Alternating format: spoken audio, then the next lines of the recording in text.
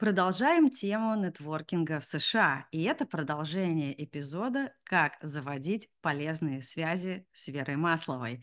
Как стратегически подходить к нетворкингу, чтобы получать результаты в долгосрочной перспективе? Что нужно сделать, если надо получить результат прямо здесь и сейчас? Как знакомиться офлайн на конференциях, метапах или на кружках по интересам. Как втираться в доверие к американцам, обсудим в сегодняшнем эпизоде. Не переключайтесь. С вами Анна Наумова, я эксперт по поиску работы в США, карьерный коуч и консультант. Живу в США уже 8 лет, а также я продукт-менеджер с опытом более 10 лет и с опытом в IT с 2006 года. И вы на моем канале Продкаст. Если вам нужно сделать крутое американское резюме, прокачать профиль в LinkedIn или подготовиться к собеседованию международной компании, заходите на мой веб-сайт annanaumova.com и записывайтесь ко мне на консультации. Итак, у меня в гостях сегодня Вера Маслова, основатель просветительского проекта Science Me. Вера также занимается партнерствами для компании сферы электроэнергии L-Charge и консультирует людей из бизнеса, науки и искусства по стратегическому нетворку. Вера, привет еще раз. Очень рада тебя видеть. Очень рада. Очень, Очень рада. рада, да. Мы с Верой а, недавно записали первую часть этого эпизода. Это был про нетворкинг онлайн. Мы говорили очень много про онлайн, а также про психологические барьеры. Поэтому, если вам интересен нетворкинг в LinkedIn, как писать холодные письма нанимающим менеджерам или рекрутерам, или как вообще бороться со своими а, блоками в голове, если вам страшно, а, ссылка на этот эпизод будет в описании к этому видео. Ну что, Вера, э, спасибо большое, что еще раз э, согласилась со мной пообщаться. Очень крутой получился у нас тогда эпизод. Получила безумное количество положительных откликов, э, очень много лайков, очень много комментариев. Поэтому, ребят, обязательно ставьте лайки, задавайте вопросы. Я собрала еще куча вопросов после нашего первого эпизода, и то, что мы не успели покрыть э, в первом эпизоде, это офлайн знакомство. Сегодня мы постараемся полностью закрыть вопрос по нетворкингу, чтобы вы, ребят, стали профессионалами. Расскажи о себе э, кратко, если кто-то вдруг не смотрел наш первый эпизод. Э, давай с самого, самых, самого начала. Кто такая Вера Маслова? Да, с удовольствием, с огромным и рада быть э, в эфире. Правда, что и ты такая замечательная аудитория, очень вовлеченная, и рада действительно, что тот эфир был настолько успешный. А, здесь, когда, когда переехала в Америку, я поняла, что действительно вообще знакомство и знакомиться, это была часть, наверное, всей моей жизни. Я помню, как 18 лет собрала день рождения на 100 человек. А, и потом повторяла это. И сейчас здесь, наверное, Америка помогла мне увидеть эту сильную сторону.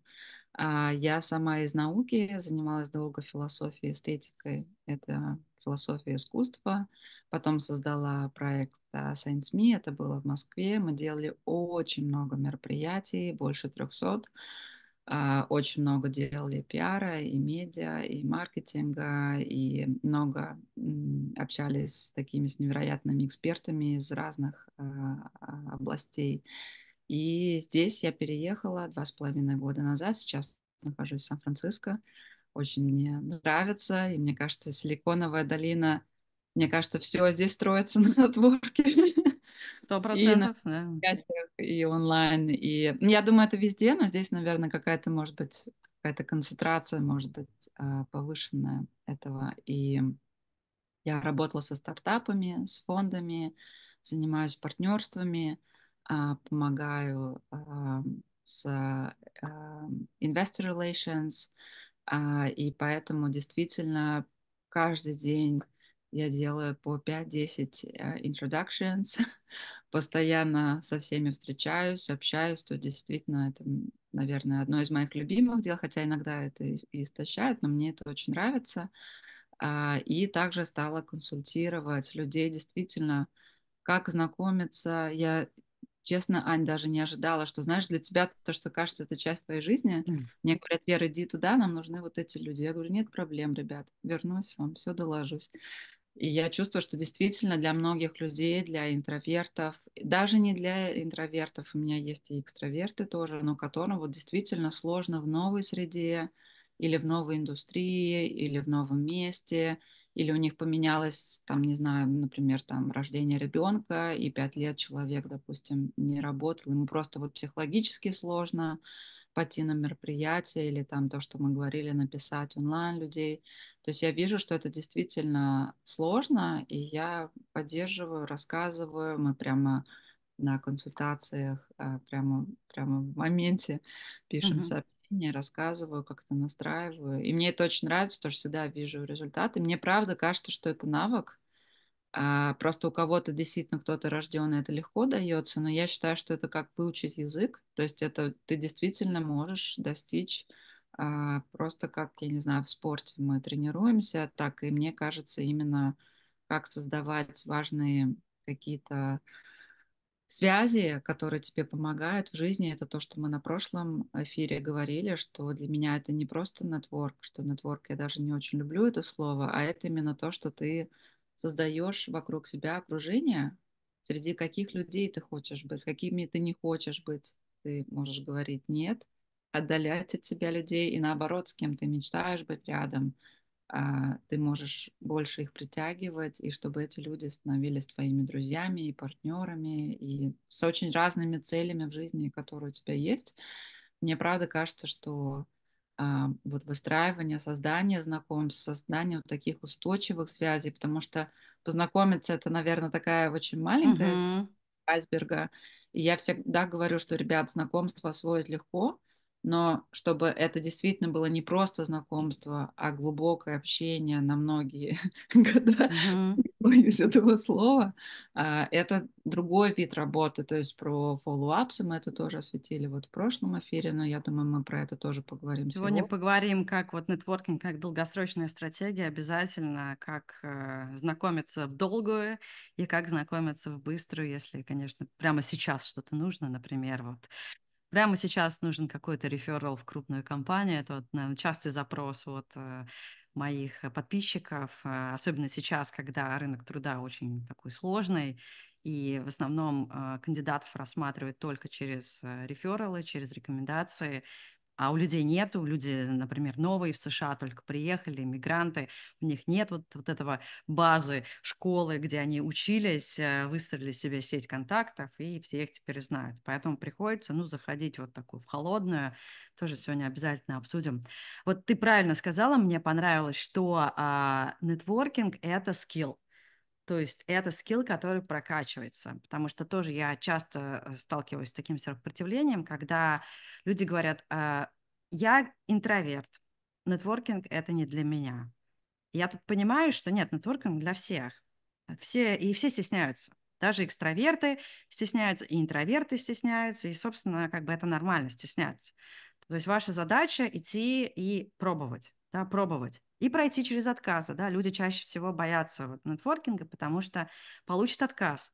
И вот э, мой э, партнер по э, воскресному шоу Микитюк, который пока временно ушел в отпуск, он всегда говорил, ребята, вам нужно получить э, там определенное количество отказов, чтобы э, выработать вот эту вот броню.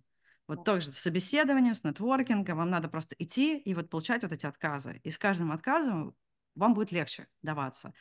Вот, поэтому это просто скилл и, и никак вообще не связано экстраверт и интроверт. э, Каждый, это ваша задача. Я считаю, что это вот профессионализм. Вот вы идете и что-то делаете. Вот.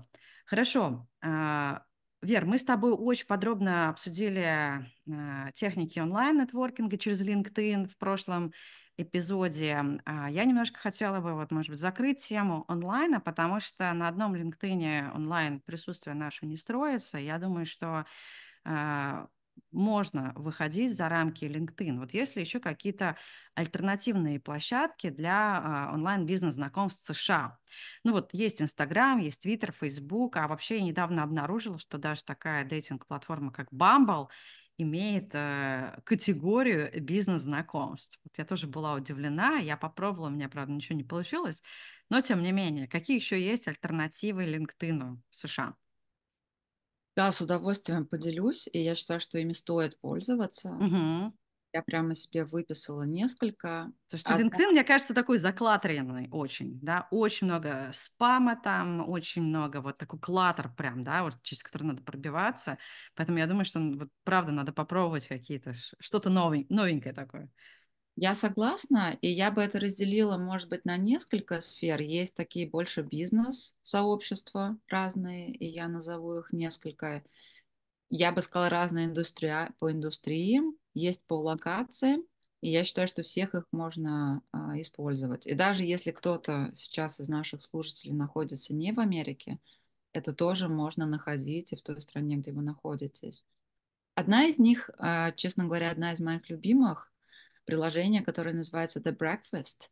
А, И я, собственно, помогала его запускать а, в Сан-Франциско. Они сейчас находятся, по-моему, в 15 странах. В Америке они точно запущены в Нью-Йорке и в Лос-Анджелесе, по-моему, и несколько других городов. Они есть в Лиссабоне, в Лондоне, а, даже в Тбилиси, по-моему, в Польше. Идея так, там больше людей из креативных индустрий, но и не только. То есть люди, которые, и- они могут быть и в тег, но они интересуются креативными индустриями. Ты, она очень стильно сделана, они полу- получили много призов. Ты заполняешь свой профиль, я могу дать, мы можем дать комментариях, у меня есть промокод а, на них, и, и тебе показывает, что ты хочешь познакомиться с людьми, как ты, или ты хочешь познакомиться с другими людьми. И дальше тебе раз в день или как ты хочешь, с частотой, какой, которой ты хочешь, выдается тебе человек, ты смотришь профиль, и дальше, что мне нравится, вы идете, договариваетесь и вместе идете завтракать в оффлайне. Мгм. И из-за того, что там есть фильтр у людей, то есть там ты приходишь либо через referral, либо ты проходишь модерацию, то есть ни одного не было лишнего человека, почти со всеми, с кем я завтракала, я до сих пор общаюсь. То есть там действительно, я боюсь точно сказать цифру, но там точно, мне кажется, что там сейчас больше 40 тысяч пользователей. То есть, в принципе, Ого. достаточно хорошая база, ну, я могу уточнить и вернуться с этим. А, и это очень стоящее. То есть я из примеров могу рассказать, что здесь я познакомилась с, с а, и McKinsey а, человеком, который работает, был очень приятный, и у нас было классное общение. Один человек был преподаватель искусства в Сан-Франциско МОМА, и он не ходит этапы и ничто, но ему вот нравится Американцы, да? Правильно я понимаю, что там не только русскоязычные, да, что это вот все-таки международные, да, знакомства? Ага. очень разные. Одна девушка была прекрасное общение, мы до сих пор с ней общаемся. Она, у нее свое агентство по брендингу, по рекламе. а, очень классный человек, команда давно очень в Сан-Франциско. У нас был очень такой глубокий разговор. То есть очень разнородные люди, но Мгм. очень открытые к общению. И я, может быть, буду э, посократить. Есть а, платформа, называется Osmos тоже Мгм. ссылку. Это больше бизнес-общение. Там тоже вы указываете локацию, что вам интересно, чем вы можете помочь. И дальше идет матчинг. Потом есть разные форматы random coffee. То есть я знаю, что они есть среди русскоговорящих, но я знаю, что и random coffee, разные чаты есть и в Америке тоже, и в других странах. И я думаю, что ими тоже а, можно пользоваться. А, потом я записала платформу Nextdoor. А, Мгм. Интересно. нее. Как?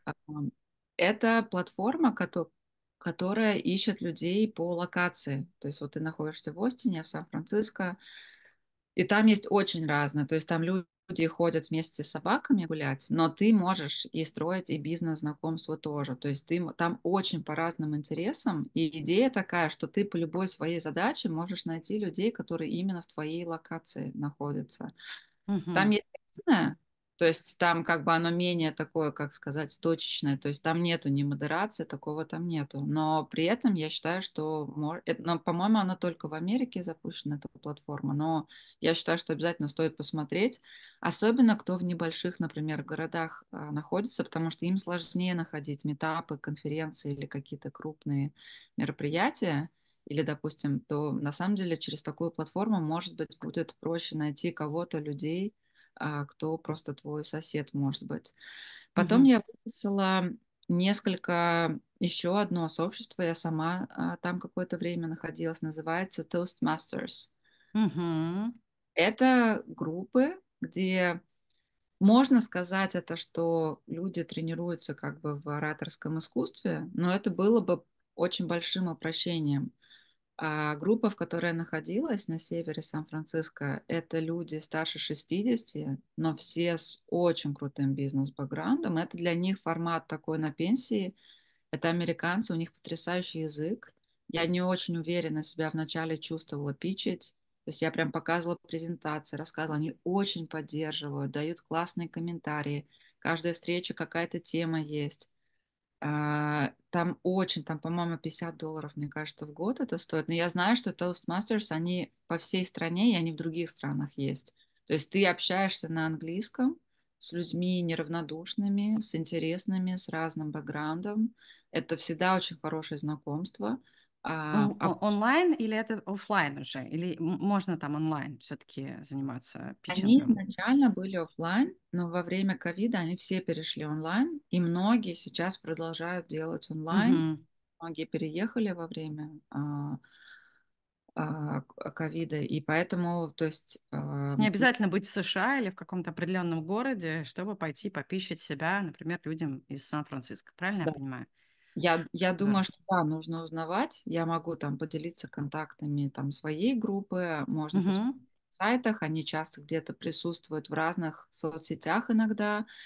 А в моей группе они часто зовут очень интересных экспертов, которые тоже выступают. А, а, и то есть это правда действительно очень неординарных спикеров зовут. То есть мне кажется, это тоже хорошая платформа, просто потренироваться, потому что я знаю, Ань, mm твоей практике, в моей практике очень часто встречаемся, когда люди просто не уверены из-за языка, не потому что они плохо нетворкаются, они просто, они, им сложно подойти, потому что им страшно вот заговорить. Uh-huh. И как раз эта группа, она, мне кажется, сразу спасается, убивает и то, и другое. А потом я записала себе разные такие уже более, может быть, такие executives, uh, uh-huh. потому что я знаю, что среди твоих слушателей очень разные люди. Есть такое, называется как чиф, это для женщин-руководителей. А сообщество это онлайн, но они делают офлайн встречи, они очень знакомы. То есть в Америке очень много разного рода клубов. Вообще клубы, мне кажется, такая местная специфика и офлайн, и онлайн по интересам, по профессиональным интересам, их просто огромное здесь количество. Я назову просто вот очень uh-huh. несколько, на самом деле просто тысячи. А есть одна C-Suite называется, они поменьше, туда легче входить. Я тоже дам все ссылки, если нужно referrals могу сделать. Недавно я познакомилась, есть э, такая группа, называется Blend. Они тоже по всему миру, это онлайн. Black. Туда входит э, Blend, B-L-E. Угу.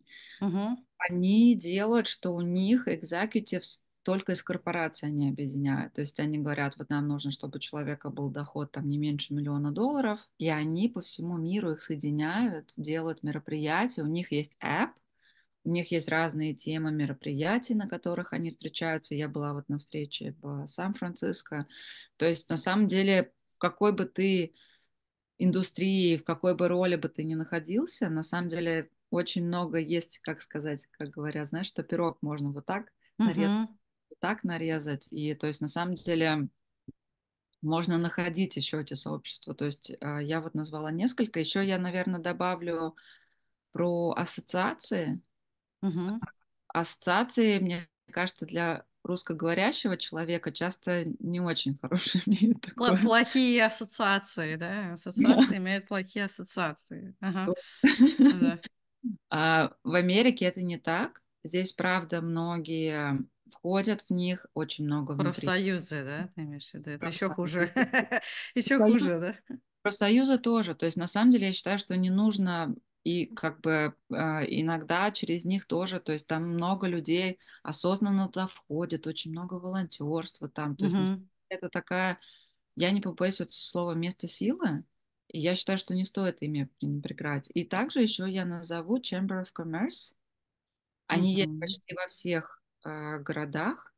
Э, я не знаю, ну, такой, как бы, может быть, там начинают средние численности. Они тоже очень активны. Они, большинство, кого я знаю, много делают мероприятий, Многие предприниматели города туда входят. Там очень много людей, которые, может быть, мы такие активные в онлайне, но на самом деле очень много в Америке в офлайне происходит. И многие там владельцы, не знаю, там магазинов или каких-то интересных там тоже каких-то проектов, они не очень активны онлайн, но они активны в Chamber of Commerce. Поэтому найти Мгм.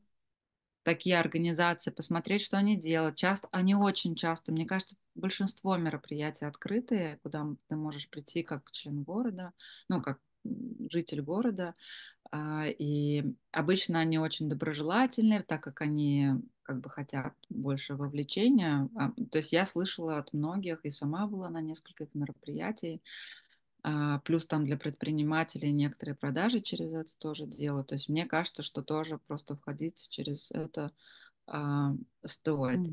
А вот про ассоциации, можешь привести какие-то конкретные примеры ассоциаций или как их искать?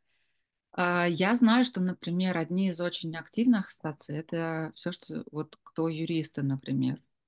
А, вообще вот эти все lawyers, а, для них, так как они очень много обмениваются информацией, а, поддержкой друг друга, часто меняются какие-то законы, ассоциации, я знаю, для них очень важная а, часть их жизни, а, скажем так, и поддержки тоже, и профессиональной, не только профессиональной. Поэтому это просто первое, что пришло в голову. А, Поэтому, если вы как-то связаны с этим, а или, может быть, хотите пойти в это направление, или, может быть, ваша деятельность каким-то образом а, связана. Даже в ТЭК, например, очень много, на самом деле, позиций, которые связаны каким-то образом а, там, с юридическим сопровождением. Вы тоже можете туда войти. Юристы, чем хорошая аудитория? Они всегда не самые лучшие нетворкеры. А те, кто не самые лучшие нетворкеры, на самом деле с ними лучше всего нетворкаться, потому что они как бы более открыты к этому, к ним, к ним не подходит 100 человек в день, Мгм. и когда ты с ним общаешься, и особенно если юрист вам сделал реферал, вес этому всегда намного выше. Поэтому вот какие-то, я всегда за какие-то нестандартные, а, скажем так, какие-то ходы, а, и поэтому с ними, а из-за того, что там какие-то юридические компании, много компаний обслуживают, если они всегда могут сделать реферал в компанию, в которой они работают, а, И поэтому, если вы даже придете на какое-то открытое мер- мероприятие, кто-то вам понравится, а, эти люди очень всегда глубокие, они много знают, то есть на самом деле это всегда люди такие очень эрудированные, я бы сказала, с ними интересно общаться. Они очень ответственные а, в плане того, что вот если они сказали, да, давай пойдем на кофе, это реально значит, что они согласны пойти на кофе, потому что там здесь, в долине, когда тебе так говорят, это вообще ничего не значит. Это просто сказать, да, приятно познакомиться, но это вообще не означает, что человек с тобой хочет выпить кофе. Вот если юрист так говорит, то обычно это действительно означает, что он готов с тобой встретиться, и они реально встречаются. А, круто. Прям записала себе, да, пойти э, на творчество с юристами.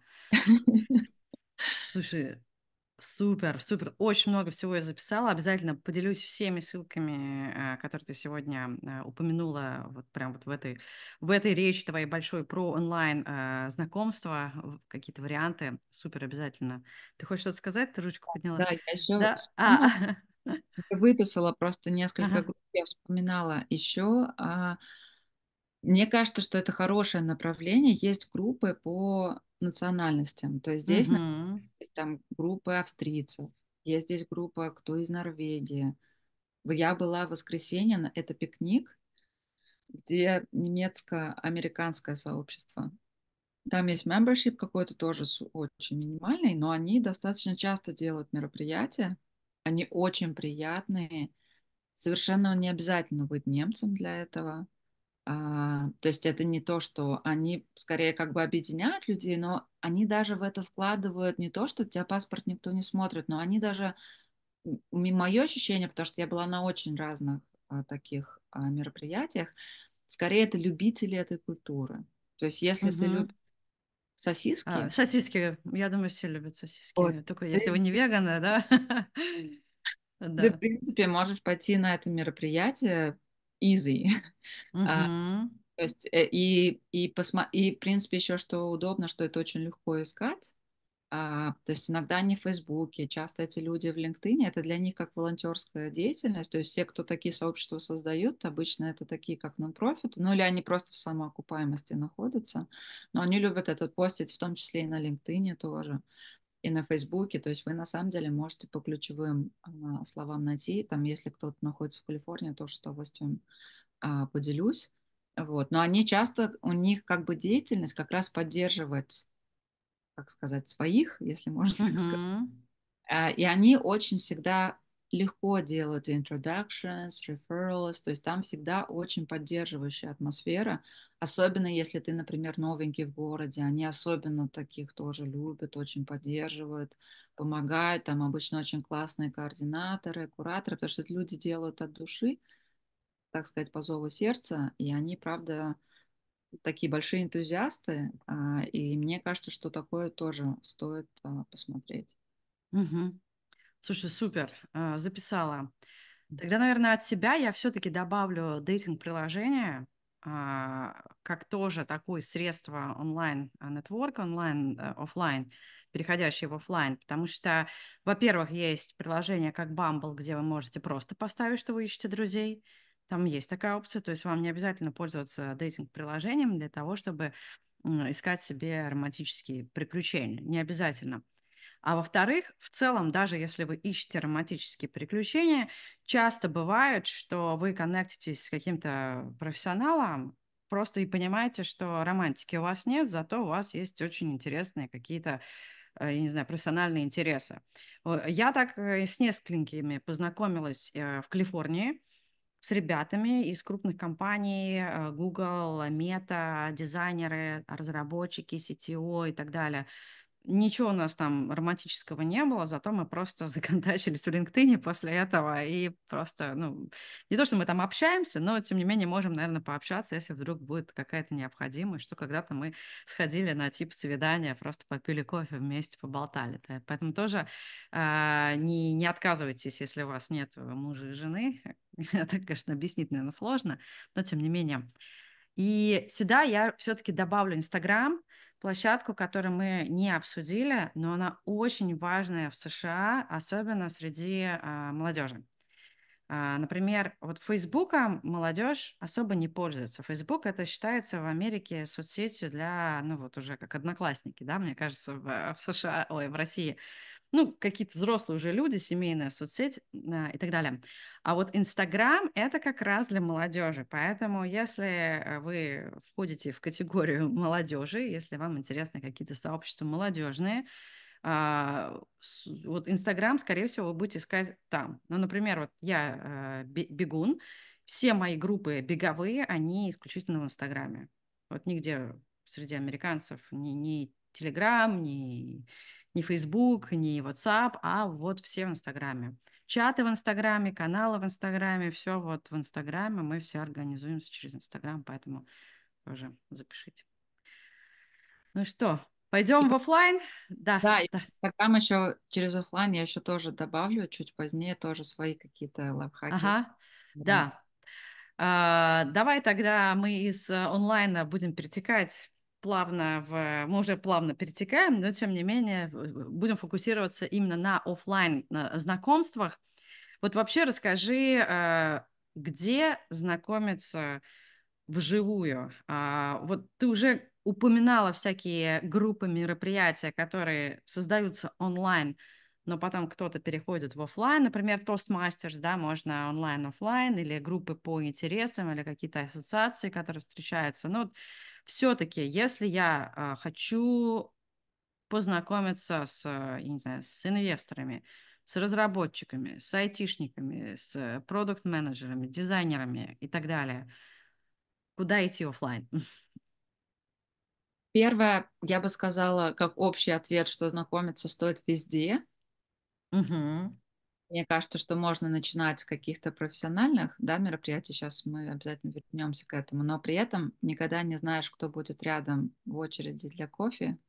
Поэтому знакомиться можно и стоит. Тут мой, мой, мой э, интроверт с границами поднапрягся, да, потому что я думаю, если я стою в очереди за кофе, и тут ко мне кто-то начинает подкатывать, я начинаю напрягаться, знаешь, типа, Это мои границы, не заходи сюда. Вот э, как, как ты с этим? Ты прям вот прям, прям подходишь в очередь для кофе или как ты этим? Да, э, я думала на самом деле это разобрать. Э, мне кажется, вообще я даже выписала на самом деле себе, что очереди, ребят, идеальное место для знакомства. И мой опыт про это говорит, и чужой опыт. Вы вынуждены там находиться, и ты, безусловно, важно соблюдать дистанцию, то есть ты как бы, ты же не так все жмешь руку, вот моя карточка, то есть ты же, конечно, так делаешь. Ты можешь, то есть если это в кофейне, например, а, но я в очередях и на мероприятиях тоже все время знакомлюсь. Если это какой-то, ну, то есть можно спросить, а ты здесь первый раз, а что ты брал? Какой любимый твой там напиток или блюдо? Потому что некоторых ты видишь, люди давно здесь находятся. Можно спросить, что там, эм, а я вот не, не знаю, там, может быть, ты что-то посоветуешь. Очень часто американцы, это, мне кажется, чисто американская история, они очень любят первыми сказать тебе комплимент, и комплимент не что ты красиво, oh, I love your hair, oh, your glasses are so nice, I never seen this nail polish. То есть они выбирают что-то конкретное из твоего, из твоей внешности, обожают говорить комплименты про собак. Я хотела поделиться, у меня одна знакомая реально завела собаку для нетворкинга. Она говорит, Вер, я интроверт, вообще не могу знакомиться, завела собаку, теперь все собачники мои друзья, у меня здесь друзья из всех компаний. Она говорит, я вот прям нашла, мне вообще идеально подходит. Ну, это может какой-то крайний случай, но тоже хотела этим поделиться. Можно ребенка завести для нетворка тоже. На детских площадках мне да. Рассказывают, что на самом деле тоже очень хорошее знакомство. Это тоже на самом деле совершенно, да, потому что твои дети играют, oh, what are you doing? Или еще что-то там, ты где-то присмотрел там за чужим ребенком. Ну, то есть это какие-то разные такие моменты. И это очень это всегда вам упрощает на самом деле вот этот первый момент, а что сказать, когда у вас есть общее поле, вы уже здесь находитесь, и вас что-то вместе сюда привело, это и есть ваш повод. То есть можно либо это использовать, либо вот то, что я говорю, сказать комплимент. Но некоторым, кстати, людям, правда, сложно говорить комплименты. А есть такая книжка Five Languages of Love, и там вот один из языков любви — это Words of Affirmation. Очень mm-hmm. советую книгу, потому что она, а, он потом еще одну написал книгу, как раз, что эти же пять языков используются и в работе тоже. И как раз он разбирает случаи, что есть люди, которым очень сложно говорить комплименты, и мне кажется, это здорово как раз начать тренироваться не на жене и муже, может быть, а вот так вовне иногда даже легче чужому человеку сказать. И мне кажется, это, а это очень важный тоже навык говорить комплименты. А, и никто не заставляет говорить неправду, но в любом человеке ты можешь найти что-то, что тебе понравится. Может быть, да. тебе человек жестикулирует. Угу. Может нравится тембр голоса. Мне, правда, например, вот нравится женщина, когда, знаешь, ты басом говорят, я прям думаю, какой классный голос такой вообще супер. Да, я прям предвосхищаю вопросы, вот, а, это же лесть, надо идти и льстить, и льстить, да, вот мне все говорят про американское лицемерие, вот, американскую лесть и американское лицемерие. Вот, ты правильно сказала, не надо говорить, если вам что-то не нравится. Если идет, я не знаю, женщина, она вам не нравится, вам не нравятся ее волосы, не надо говорить I like your hair, your hair, да? Если вам не нравится, какая она, я не знаю, одета, не надо тоже врать, это все будет заметно. Найдите что-то, что вам нравится. Да. Если вам ничего не нравится, ну тогда уж промолчите, да, не нужно, наверное. Нравится, посмотри, когда ты стоишь в очереди, у тебя есть человек перед тобой, а еще у тебя есть человек сзади. Поэтому у тебя есть, ты можешь, если тебе ничего не нравится, человек спереди, обернись и поговори с тем, кто сзади. Uh-huh. У меня была одна очередь, TechCrunch это такое очень крупное мероприятие в Сан-Франциско проходит, и не только. А, и я поста- пошла в очередь, э, подписывала автор книгу. Вообще не знала ни автора, ни книгу. Думаю, ну какая-то приятная очередь стоит. И стояла, и мы познакомились в итоге 10 человек. 5 спереди, 5 сзади. Мы все обменялись контактами. Правда, все знают, что TechCrunch это как бы место uh-huh наверное, первая задача — это нетворк, поэтому, в принципе, все открыты а, для нетворка. И просто тоже как пример, что это очень хороший повод. То есть я спрашивала, что за автор, а как вы узнали, там, а почему вы решили там постоять. Ну, то есть это очень также, и мы, может быть, здесь плавно переходим к мероприятиям, может быть, более mm-hmm. там, крупным, и маленьким тоже. На метапах я тоже люблю стоять. Все, что связано с едой, например, люди пришли перекусить. Это всегда хороший повод. А, если вы не знаете, где знакомиться, идите туда, где есть еда. Угу. Попробуй, вот это реально очень вкусно. А возьми еще вот это и вот это, вот это возьми. Hi, I'm Vera, and what's your name? То есть ты как бы у тебя есть вот это, это то, это правда, это чисто тренировка, но потом оно просто идет уже как по маслу, Вер, масло, как по маслу. Потом оно органично приходит, но вот эти как бы первая, да, может быть, а, история. И, Ань, возвращаясь к твоему вопросу, то есть, да, это метап. Где знакомиться, да. Очереди да. я записала, метапы. Да, э, то есть это какой формат? То есть это конференции, это метапы, это какие-то э, мастер-классы даже, возможно. Э, где искать их, то я думаю, что это Eventbrite платформы, э, Partyful. Можно также смотреть ивенты на LinkedIn всегда в лентах, на самом деле, чем больше вы развиваетесь, тут у нас связь с первым эфиром, а, всегда, чем больше вы развиваете свой онлайн-нетворк, то вас, на самом деле, в ленте начинают, а, вы начинаете в ленте видеть а, разные мероприятия на людей, на которых вы подписаны. Почему еще это тоже важно делать? То есть вы как бы знание увеличивается в этой uh-huh. области. Meetup.com, да? Да, обязательно. Uh-huh. Partyful, а, тоже модная платформа, там тоже многие регистрируются. А, иногда бывает, то есть, например, хайки, нам кажется, что это чисто хайки, иногда бывают хайки продукт менеджеров Я такой uh-huh. тоже. Иногда они по интересам бывают. Я сейчас стала плавать а, в океане 3-4 раза в неделю, и я познакомилась с женщиной, там был такой очень закрытый классное мероприятие, и она говорит, а я плаваю в океане, я говорю, а я всегда мечтала, я говорю, а можно с вами? Она, наверное, только на шестой раз меня взяла с собой. Это как раз про фоллоуапы. То есть я ей периодически писала, и она такая, ну ладно, я думаю, она, видимо, поняла, что я это, надо меня взять. А, и там группа там чат в WhatsApp 25, это все executive женщины в разных сферах. Одна в healthcare, а там другая в инвестициях, еще что-то. Они почти все старше меня. Невероятная, классная группа, очень поддерживающая. Они все время, у них там разные заплывы есть. Они очень поддерживают друг друга. Мы, у одной есть э, дом в Саноме, мы ездили к ней на ланч. Сейчас мы другой ланч обсуждаем. То есть оказалось, что вот вроде бы, да, это не было совершенно не профильная, да, какая-то история, но мы уже с несколькими отдельно встретились с женщинами, а, и мне невероятно тоже угу. Подходит. То есть я к тому, что даже если вы пойдете в кружок по вязанию, а вязание, кстати, в Америке тоже достаточно популярно, то очень высокий шанс, что кто-то из вашей группы на самом деле может оказаться а, вообще как-то связан с вашей профессиональной деятельностью. Даже я бы сказала, что это очень высокий шанс. Высокий шанс, конечно. Особенно среди каких-то более дорогих развлечений, например, теннис. Да. Если вы играете в теннис, сто процентов там будут люди из э, высокого класса. А, дальше что у нас из таких вот яхтинг, да, если вдруг вы, да, из гольф, гольф. В США очень популярен гольф, тоже играет.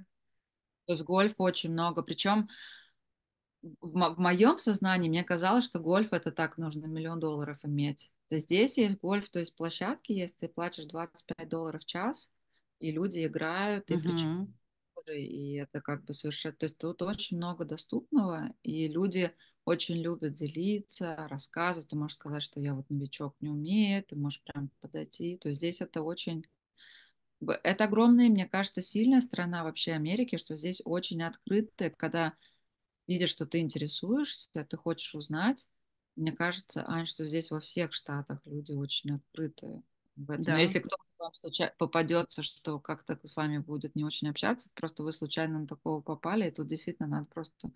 дальше не думать, что это все такие, а это просто вы как бы выбор. Ну, бывает, да, везде бывают какие-то, как говорятся, в семье не без урода, да, везде бывают хорошие и плохие, поэтому тоже, да, как, как Вера говорит, не останавливайтесь, шестого раза вам повезет. Я, кстати, то, что ты занимаешься, я знаю, что здесь есть шесть сообществ бегунов в долине, И это тоже очень-очень там классные люди. Потом серфинг тоже. Угу. Это может быть больше в Калифорнии, но во Флориде тоже. А, тоже очень активные сообщества, очень много они тоже чего-то сделали. Здесь даже там пляжный волейбол, я знаю, несколько групп в Телеграме есть, а, кто там тоже, они всегда договариваются, а когда они что встречаются, а, просто перебираю в голове. Да. Мне кажется, мне кажется, что бы вы не любили, martial art Везде. популярная. Да. Martial art box очень популярный. А, потом я знаю, что особенно почему-то в Калифорнии очень модна керамика. То есть, видимо, люди настолько устают от э, лэптопов, Угу. знаешь, по вечерам. То есть я реально, у меня просто еще в районе живу, здесь несколько гончарных студий. И ты, знаешь, выходишь, и там просто вот 40 людей нашего возраста, значит, это, и я думаю, ну, это действительно какое-то, это, наверное, средство против. Успокаивает. Успок... Это вот, кстати, мой способ. Я обожаю лепить а, тесто. А, и когда я очень а, на стрессе, я леплю а, какие-то пирожки для своей дочери. Вот есть для меня вот это вот прям целая процедура. Я беру тесто, и я говорю, все, у меня в наушниках подкаст. Я говорю, Ева, отстань, я, я занята, у меня дзен. Я ловлю дзен, и я леплю ей сосиски в тесте, пирожки, пельмешки, да, и вот для меня это прям вот, знаешь, релакс такой, вот. Ну, кто-то, вот, видишь, керамику лепит, я леплю, чтобы вот как бы полепить еще и можно еще и накормить дочь, чтобы не просто лепить, а еще польза. Пробег, еще добавлю велосипед. А, не знаю, как вот в Калифорнии, а вот в Остине у нас очень много. Э, велосипедистов, велосипедных групп. И.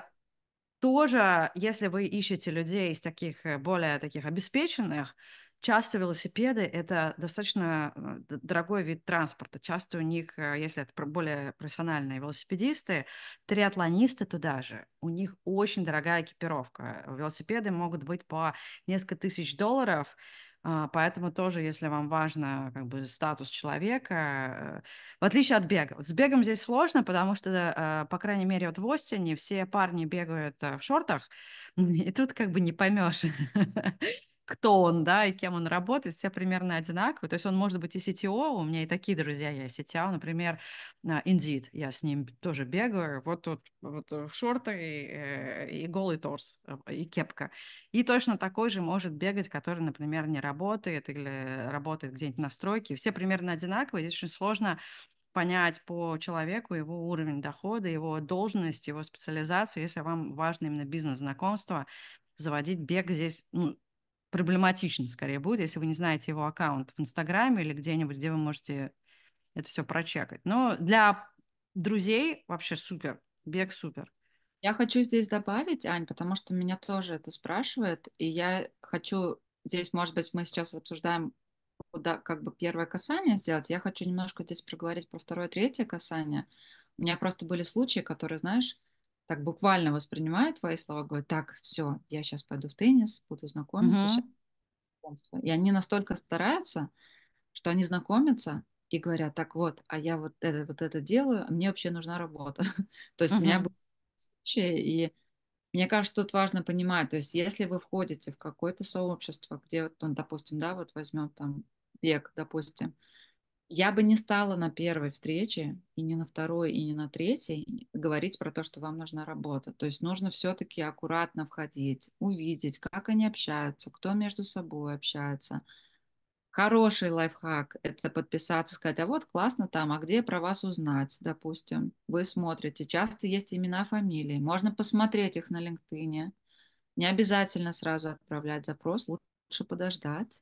А, то есть я, например, вот с плаванием мы стали говорить про работу, наверное, на десятую встречу.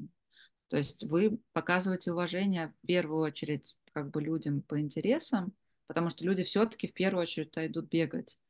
А, и здесь, мне кажется, важно какой-то вот такой баланс а, держать, потому что, правда, Аня, у меня такое встречается, что некоторые, знаешь, вот как бы это too much, не чувствуют просто, знаешь, вот какую-то эту историю, поэтому вот конкретно про то, что вот сейчас мы говорим про там велосипеды и все остальное, что действительно какой-то просто держать и, и людям тоже показать, что вы действительно хотите кататься на велосипедах, что вы не просто один раз пришли, так со всеми познакомились, все карточки раздали, они пришли. Просто таких здесь, таких тоже много, к сожалению, людей. Поэтому люди привыкли как бы немножко держать дистанцию. Покажите, что вы действительно хотите этим заниматься. Угу. Раз от раза приходите, что вы как бы... Они видят ваши консистенции. Мы тоже это проговаривали на первой встрече. Вот слово consistency, мне кажется, оно вот в американском контексте вообще одно из каких-то главных слов – то есть человек, который показывает, что он вовремя приходит, что он сказал, что он придет, и он приходит. Про то, что он отвечает, не знаю, там на сообщения, что то, что он говорит, то он и делает.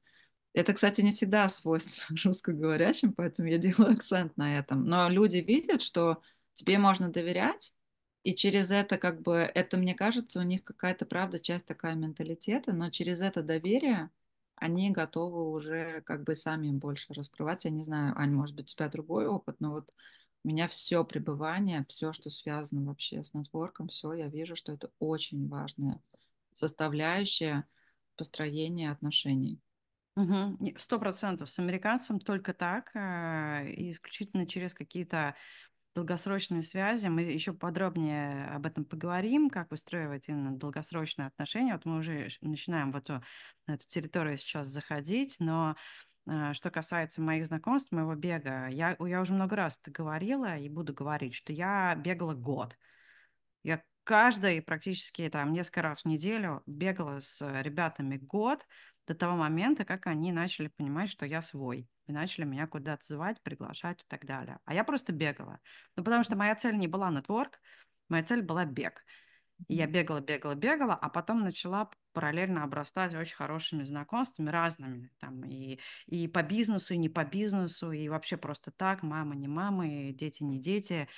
Вообще любые, любые знакомства. Ну вот год стабильно я бегала бегала, бегала, бегала, бегала, да, и, вот, и никому не приставала при этом, да. Есть уважение через это к человеку, угу. то есть а, человек старается, хочет, то есть на самом деле угу. оно, я бы даже сказала, что оно очень логичное, то есть все, что вот мы с тобой говорим, то есть я понимаю американцев, потому что правда люди такие, знаешь, некоторые такие загораются, а потом очень быстро исчезают, и а зачем угу. Тратить время свое на выстраивание отношений с человеком, который да. здесь, то там, и как бы, то есть мне кажется, в принципе, в этом много есть логики, а, и мне кажется, что даже если это станет в каком-то смысле таким внутренним ростом себя, а, потому что я, например, честно, человек не самый вот такой, как бы, то есть у меня как раз я такая, как сказать, я могу чем-то так загореться, то есть для меня как раз я сама в этом тренировалась, и я как бы я вижу до сих пор, я проникаюсь этим, и мне больше и больше это нравится. То есть это какие-то, знаешь, такое внутреннее раскрывание себя. Угу. То... Да, да. Слушай, я вообще, знаешь, что еще поняла про свои беговые группы? Я никогда на них сверху, на людей не наскакивала. То есть я всегда была как таким серым кардиналом. Я приходила, молча в группу заходила, бегала да, и там словом перемолвилась, там, да, но я могу просто, просто бежать молча с группой людей, я просто могу целый день молчать вообще, целый час. Могу говорить, могу не говорить, да, и вот, и вот как-то вот я поняла, что я всегда с ними, но э, никогда на них вот так вот сразу не нападал, что а давай-ка рассказывай мне про всю свою жизнь, что там у тебя случилось, да, я могу просто слушать, просто рядом бежать, слушать, вот. А что я начала делать? Я начала фотографироваться с людьми и просто вот говорю, давайте мне для стравы фотки. И кто подписан на мою страву или на мой инстаграм, они знают, что у меня каждый, каждый день выходят фотки с бегунами. А, вот. И теперь они знают такие, так, фотка, где Аня, где Аня там, э, что я у них уже там королева фотографии, и они теперь бегают, меня специально ищут, ждут меня. Допустим, они раньше прибежали, я, например, позже их прибежала, они меня ждут, чтобы сделать фотографию. То есть уже, понимаешь, вот паттерн вот этот вот в голове. Реально, что ты про это сказала. Я очень хотела прямо на этом эфире это затронуть. Это один из главных лайфхаков — делать фотографии с людьми. И это причем я вижу, что на самом деле я вижу людей, кто это использует, сама это постоянно использую. Ты делаешь, а можно фотографию на память? Может быть, все, не все. И ты говоришь, а давай я с тобой поделюсь. И вот дальше очень важно не через iPhone передавать фотографии, потому что вы не запомните телефон человека, а ты говоришь, а можно я запишу твой телефон? Все, у тебя есть А можно фамилию тоже? А то у меня много Джессик. Можешь еще фамилию написать? Все, у тебя есть имя, фамилия, у тебя есть контакт. Ты перебрасываешь фотографию. Hi, I'm Vera, we met there. Все, ребят, connection сделан. Ты отправил фотографию. Я просто ради примера там выкладывала на LinkedIn. Здесь была Сан-Франциско Climate Week, и там был директор из департамента по энергетике. Там была панельная сессия. Я говорю, а можно мы вас с вами сфотографироваться? Я их всех вместе собрала, сама встала в центр. Мы сфотографировались, выложила пост. Но он, может быть, не знаю, может как бы в нашем контексте звучать иногда чересчур, но в плане того, что даже если это там профессионально, непрофессионально, это всегда хорошая история – сделать фотографию, а, поделиться с другими. Люди даже иногда чаты бывают просят, ой, а сделай нам чат всех нас там, и давай мы тоже другими фотографиями поделимся. Очень хорошая история, потому что когда у тебя есть имя и фамилия, ты можешь посмотреть аккаунт на LinkedIn, посмотреть, а что за человек, и ты такой, ух ты, этот человек мне точно важен. Я хочу строить с этим человеком отношения. И ты можешь написать там, oh, I have seen your profile, допустим, там, а ты знаешь, а я тоже в этой индустрии, а может быть, мы можем там встретиться на кофе. Сейчас, может быть, я больше такие, как бы, может быть, про метапы говорю уже, возвращаясь к нашей бизнесу. Да, нас как раз, да, вот э, плавно переходим к тому все-таки, как как знакомиться и как подкатывать к людям, и уже вот, э, вот фотография это прям крутой хак. Да. Ты уже сказала про э, комплименты, mm-hmm. что-то выделить какой-то комплимент. А, также ты упомянула знакомиться в очереди за едой и спрашивать рекомендацию про еду. Вот давай, наверное, эту тему теперь покроем. Знакомство, как, как подкатывать э, офлайн к людям. Очень интересно и очень э, такая триггерная тема, потому что это дико страшно. Одно дело онлайн подкатывать, подкатывать, еще слово такое использую, да, э, знакомиться, подходить к людям. А, а другое дело вот э, смотреть э, в глаза. Слушай, ой, я здесь, знаешь, что вспомнила? Историю. Я, это был, наверное, мой третий год или второй год в США. Да, второй год в США. Я получила офер в криптопроекте. Это был 2017 год, и в Калифорнию я переехала из Бостона в Калифорнию. А, и был тогда бум крипты, помнишь? Везде была вот эта крипта, крипта, крипта, 2017 год. И я тогда, меня босс отправил в Лас-Вегас на какую-то криптоконференцию крупную, забыла, как она называется, в общем, крупная. И как он мне сказал, Аня, твоя задача сейчас собирать контакты инвесторов.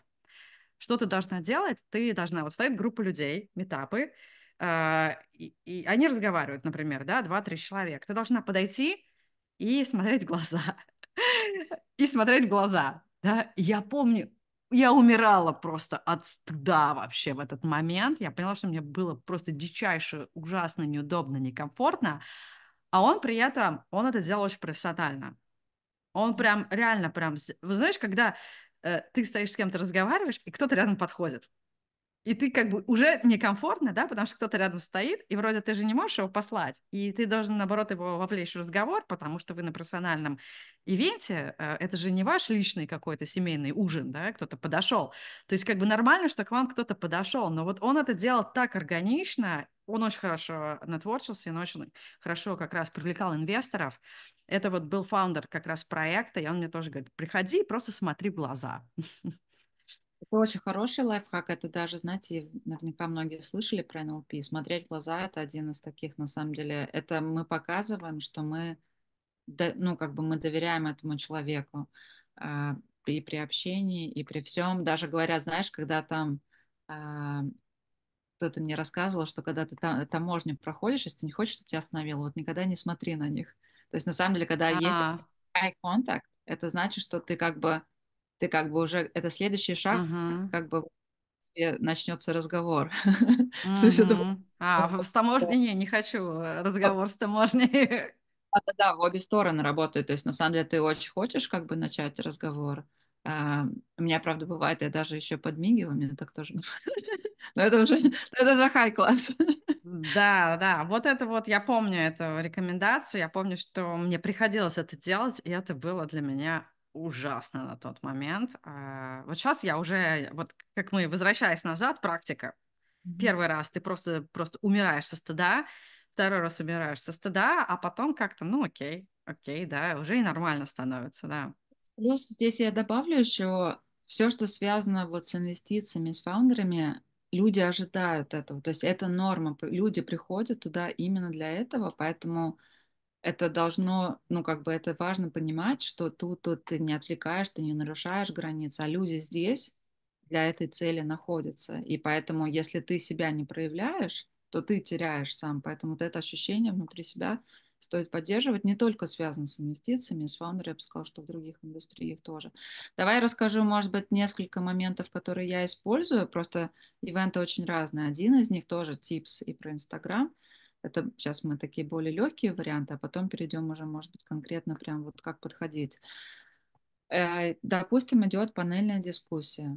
Я очень часто нахожу каждого спикера. У вас есть либо программка, либо прямо они на сцене, например. Вы смотрите, когда они говорят, я нахожу каждого на LinkedIn и пишу ему сообщение, вот то, что мы с тобой разбирали на прошлом эфире, uh, Personalized Invitation. Я пишу, ты знаешь, такая классная дискуссия, очень рада познакомиться. Там, я не знаю, что ты вообще ничего не просишь, ты просто говоришь, что ты был на этом мероприятии. И ты отправляешь это всем, потому что люди гораздо легче на это реагируют. Даже если вам не нужно с этим человеком познакомиться, вы уже свое время потратили, вы приехали, вы там, не знаю, заплатили за билет, вы уже здесь находитесь, вы на это потратите 15 минут, но это ваша копилка, это ваша social capital, как называется. Второе, сделать фотографию или видео и выложить в Инстаграм, найти каждого в Инстаграме и отметить. Пример расскажу. Я была на мероприятии в Лос-Анджелесе Пэрис Хилтон, а там а, сестра Цуки, Цукерберга, его, ее зовут Рэнди Цукерберг, она была CMO в его компании долго, сейчас у нее много своих проектов, она интервьюировала Пэрис Хилтон. Я выложила, отметила их двоих. Рэнди потом сделала share пост у нее. Потому что, ребят, что я вижу, даже самых крутых спикеров это делают единицы из того, что здесь Инстаграм не так много им как бы, то есть здесь не очень многие. У нас все-таки, знаете, ты сидишь там в ресторане, люди сразу все отфоткали, выложили, отметили, все, мы дальше продолжаем обедать. Здесь скорее это исключение, и я очень часто вижу, что была классная дискуссия или классное мероприятие, классный какой-то разговор. У этого человека, спикера, здесь еще не всегда есть фотографы на мероприятиях, и у этого человека нет ни одной фотки с мероприятия, потому что часто они пришли одни, они выступили, у них нет никого в зале. А это здесь не очень принято попросить кого-то отснять. Поэтому то, что ты его выложил, отметил, ты ему еще приятное сделал, что, ребят, смотрите, я выступил на этом мероприятии, у него есть кого сделать фотографию. Я, например, даже иногда делаю, кто-то, например, пич фаундеров, я делала на демо-дне Alchemist, такой есть достаточно популярный акселератор, я каждого отмечала, фаундера находила в LinkedIn, говорю, слушай, классный пич, вот фотка с тобой из зала, потому что они многие онлайн презентовали. Я думаю, а как бы, может быть, им прям хотелось бы фотографии, где все сидят и смотрят uh-huh. а человек там находится где-то там, я не знаю, в Латинской Америке. А у него есть фотография, он говорит, ой, спасибо огромное, что ты сделал, мне так приятно. То есть на самом деле вот так фотографировать и просто мы ничего не просим взамен, но просто сделать, здесь они всегда говорят, сделай шаг вперед навстречу а, своим новым отношениям и дружбе, это всегда такой хороший шаг вперед. Слушай, Хотя... вот вспомнила еще одну историю про фотки, и я поняла, что я это сделала абсолютно бессознательно. Uh, у нас был забег недавно, и там мне нравится один парень. И вот мы все бегали, у нас был релей, и я решила, думаю, дай-ка я его сфоткаю. Я специально, когда он бегал, я его отфоткала и скинула ему в личку, как раз по причине того, что я бы хотела, чтобы ну, у нас завязался диалог. Прикинь, я это вот, ты мне сейчас об этом сказала, как хак э, по бизнесу, а я поняла, что я точно так же сделала не по бизнесу. Вот. Ничего, Некоторые... да, ничего же я к нему не Потому подошла, что... сказала, давай пойдем на дейтинг, да? Я просто ему сказала, слушай, вот я знаю, что ты бегаешь, у тебя хочется, наверное, в истории твой забег, чтобы ты сохранил. Вот на тебе твоих фотографий. Я очень Он теперь люблю каждый раз ко мне такой, видит меня, такой, привет, привет, знаешь. Деле людям приятно, когда их... То есть многие говорят, там надо спрашивать разрешение. Я не знаю, как правильно это... Прям есть такая сфера, называется digital этикет. То есть только это все из того, что достаточно все равно новое, то есть нету четких правил, но мне кажется, людям всегда приятно, когда их сфотографировали, о них подумали. А, Каждый знает, что это все равно твое микроусилие, человеку приятно, что ты проявил внимание. а, Но это таких, мне кажется, просто из tips. Это даже интроверту. Мне кажется, что ты здесь ни одного слова не произносишь. Да. на расстоянии.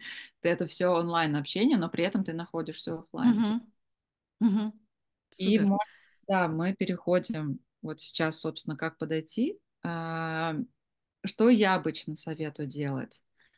Я советую, во-первых, всегда подходить, потому что, допустим, это мероприятие, а, и здесь важно не быть слишком долго, слишком мало. Знаете, есть люди, которые приходят и нетворкаются прям вот до самого конца. Знаете, вот прям я последним отсюда уйду. Всегда я всем говорю, нет, надо вовремя уходить. Уходите за полчаса, за час до окончания мероприятия. Не нужно стоять до конца, как бы нужно во всем меру иметь. Почему? Почему? Есть немножко такое ощущение, что, как сказать, знаете, когда э, это как бы на подсознании такое, но на самом деле оно, мне кажется, вот я общаюсь, иногда это чувствуется, знаете, когда человек, тут есть люди, кто на все мероприятия ходит, люди говорят, а когда он работает? То есть, когда. Есть такой момент какой-то баланса, мне кажется, соблюдать, что ты, что у тебя тоже есть дела и какие-то задачи, что ты не то, что там, знаешь, как бы вот. э, И, и плюс всегда, когда на какое мероприятие ты пришел, обычно с кем тебе стоит познакомиться, таких 5-10%. Тебе не нужно знакомиться с 100% людей. Знакомься с теми, со временем оно приходит, это понимание, с кем нужно кому подойти. Но нужно тренироваться в этом. Что я обычно советую? Идите к самым сильным, успешным людям. Это те, кто выступали, это организаторы. Организаторы обычно много людей знают, и к организаторам можно подойти. И обычно вокруг них всегда образуется какое-то количество людей, всегда можно сказать комплимент, классное мероприятие. А как узнать о следующем мероприятии? Я хочу подписаться. А какие соцсети? А можно я на тебя подпишусь? С организатором потом всегда можно выйти на кофе, кстати. А спикеры все-таки это люди, кто, значит, чего-то достигли, и к ним тоже можно подойти и сказать, слушай, классно ты выступил, а где можно еще почитать или посмотреть, а, а там вот ты вот этот, ты классно что-то тебе дать, показать, что ты действительно в этом разговоре присутствовал. Мне вот эта мысль твоя очень понравилась, а как ты к ней пришел? А, может быть, а что, может быть, кто еще про это говорит, кого бы ты там посоветовал подписаться, а где я могу больше про это прочитать? А, Потом отдельно всегда тоже можно спикеру предложить отдельно встретиться. А, Когда у нас короткое время, мы можем говорить про то, что там, ты знаешь, я I'm in a transition period, I'm searching for job opportunities, and that was so helpful what you told me. И дальше сказать, что а можно, я вот хотела бы еще совета, может быть, мы можем отдельно созвониться. Когда мы знаем, что у нас только пять минут с этим человеком, можно сказать, мы уже не трогаем бег, мы как бы уже это уже у нас бизнес, да, мероприятие. Мгм. Часто, может быть, это такое уже как бы следующая ступенька. Я всегда советую смотреть, кто главный в комнате. Вот у нас есть комната, вот в комнате 20 человек. Как мы можем понять, кто главный в этой комнате? Допустим, мы никого не знаем. Если мы кого-то знаем, мы можем спросить, а кто есть кто. А можешь мне, я вот слушай, там ты с кем-то, допустим, пришла, я никого не знаю, а кто есть кто? Человек тебе может нашептать. Всегда надо попросить помощи. Это всегда лучше. Если ты один в комнате, никого не знаешь, как определить, кто главный в комнате? Ну или главные, может быть, это не один человек, а не несколько. Мы это видим как раз по глазам. То есть на самом деле вот стоит, общается семь человек. Вот если мы видим, что мы на самом деле у своих боссов как бы часто одобрение ищем в глазах как бы другого. То есть на самом деле у меня было такое, случайно попала за стол, за ужин, и я поняла, что вот, видимо, этот человек является боссом, потому что как бы у него спрашивали одобрение, и, и как бы мы в разговоре это чувствуем. Пришел наш любимый гость. Да. Поприветствовал. Сос соскучилась, да, соскучилась, хвостик. Главный, видишь, кто главный? Да, кто главный босс пришел. По глазам видно, вижу по глазам. Да, то этот человек, то есть мы смотрим, что другие хотят с ним пообщаться. А, часто главное на самом деле молчат, они говорят. А, и значит, что вам желательно посмотреть и подойти. И вообще люди, у которых все хорошо, на самом деле, они меньше всего натворкаются. Если вы видите, что кто-то стоит, там часто, не знаю, там с женой, например, там пришел человек или еще что-то, они наслаждаются едой. Или ты видишь какая-то компания, там у меня так здесь очень часто бывает взрослых мужчин, им просто классно вместе. Я именно к таким и иду, потому что у них все хорошо. Обычно у людей, у которых все хорошо, именно с ними нужно знакомиться. И дальше, как, дальше самое... Ну, нужно это, вложить, вложить кота. Прям про нетворкинг, да? Да, точно. Тут как бы, как договориться с котом каждый раз, знаешь, потому что не, не выгонишь, но надо как бы вот методами э, магии э, поглаживаний сказать, что все хорошо. Все, кот успокоился. Раз. И дальше самое сложное, собственно, как вот к таким подойти? Потому что самое сложное, мне говорят, Вера, я к этому человеку не могу подойти. Я говорю, нет, мы здесь. Самое, да, вот это самое. Когда ты понял, кому нужно подойти, обычно это самые сложные люди, к кому подойти, или еще вокруг них много стоит людей. И у меня есть такая фраза, которая на самом деле очень нейтральная. Мы подходим и говорим, oh, I would love to be in your circle. There is such a good vibe. Can I join you? Или можно даже не спрашивать. То есть ты говоришь, что, ребят, у вас тут такой классный кружок, можно я с вами тоже хочу здесь быть? У вас тут прям такая энергия, прям бьет ключом, я хочу с вами быть. Или сидят, допустим, не знаю, вот четыре человека, у них какая-то свой там такой между собойчик, и вот вы, они что-то там обсуждают живо. Вы можете подойти, не знаю, 30 секунд, просто постоять рядом и сказать, may I join you? I feel like you're laughing and everyone is so serious here. I want to laugh too. То есть ты можешь подчеркнуть, что, ребята, у вас тут так классно, вы тут смеетесь, а все такие серьезные, я хочу с вами рядом тоже посмеяться. Можно я с вами посмеюсь? То есть ты находишь, как бы ты нежно входишь, аккуратно поглаживая. На самом деле, ну, наверное, пару раз у меня было такое, что но это пару раз, наверное, из трех тысяч кейсов, наверное, было такое, что люди говорили, что типа may we just finish, да, то есть я чувствую, что у них там, знаешь, какие-то прям реально супер... Свой бизнес, да, какой-то, да, ага. Вот это реально было раза три, наверное, я думаю, ну, за огромное количество кейсов, потому что если они сидят на мероприятии, они же не сидят в кабинке ресторана закрытой дверью, uh-huh. то есть и на мероприятии, они часть как бы этого действия. Значит, ну, как бы по идее они а, открыты, и, скорее всего, они там сели, потому что они кого-то встретили или еще что-то. Но на самом деле оказаться среди них, как бы, это хорошая история. То есть, потому что ваше время тоже ограничено. У вас, допустим, есть там, если это, например, серия панельных сессий, у вас вообще есть там обычно даже полминуты.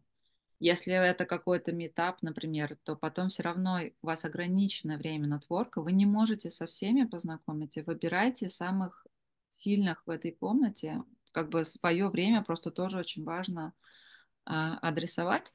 Может быть, это сложно, если человек совсем, например, да, вот, допустим, вообще ни разу. Можно, конечно, можно проще, можно как-то вот просто кто, не знаю, там рядом стоит или еще что-то. Mm-hmm. Или тоже, например, ищет знакомств, так тоже, конечно же, можно. А, то есть это скорее мой, знаешь, как бы да, я... вот какой-то высший, высший пилотаж. Я уже просто сижу, слушаю и вижу людей, которые говорят, да блин, пошли вы в задницу, да, надо выход... находить самых лучших, там только спикеров, главных в комнате, и еще и пойти и говорить, что у них крутой вайб. Думаю, все такие, да ну, выключаю эпизод, не буду больше слушать, слишком сложно. Я просто думаю, что если немножко спустить, да, вот этот вот градус и вот эту значимость, вы можете начинать тренироваться с не самых важных людей.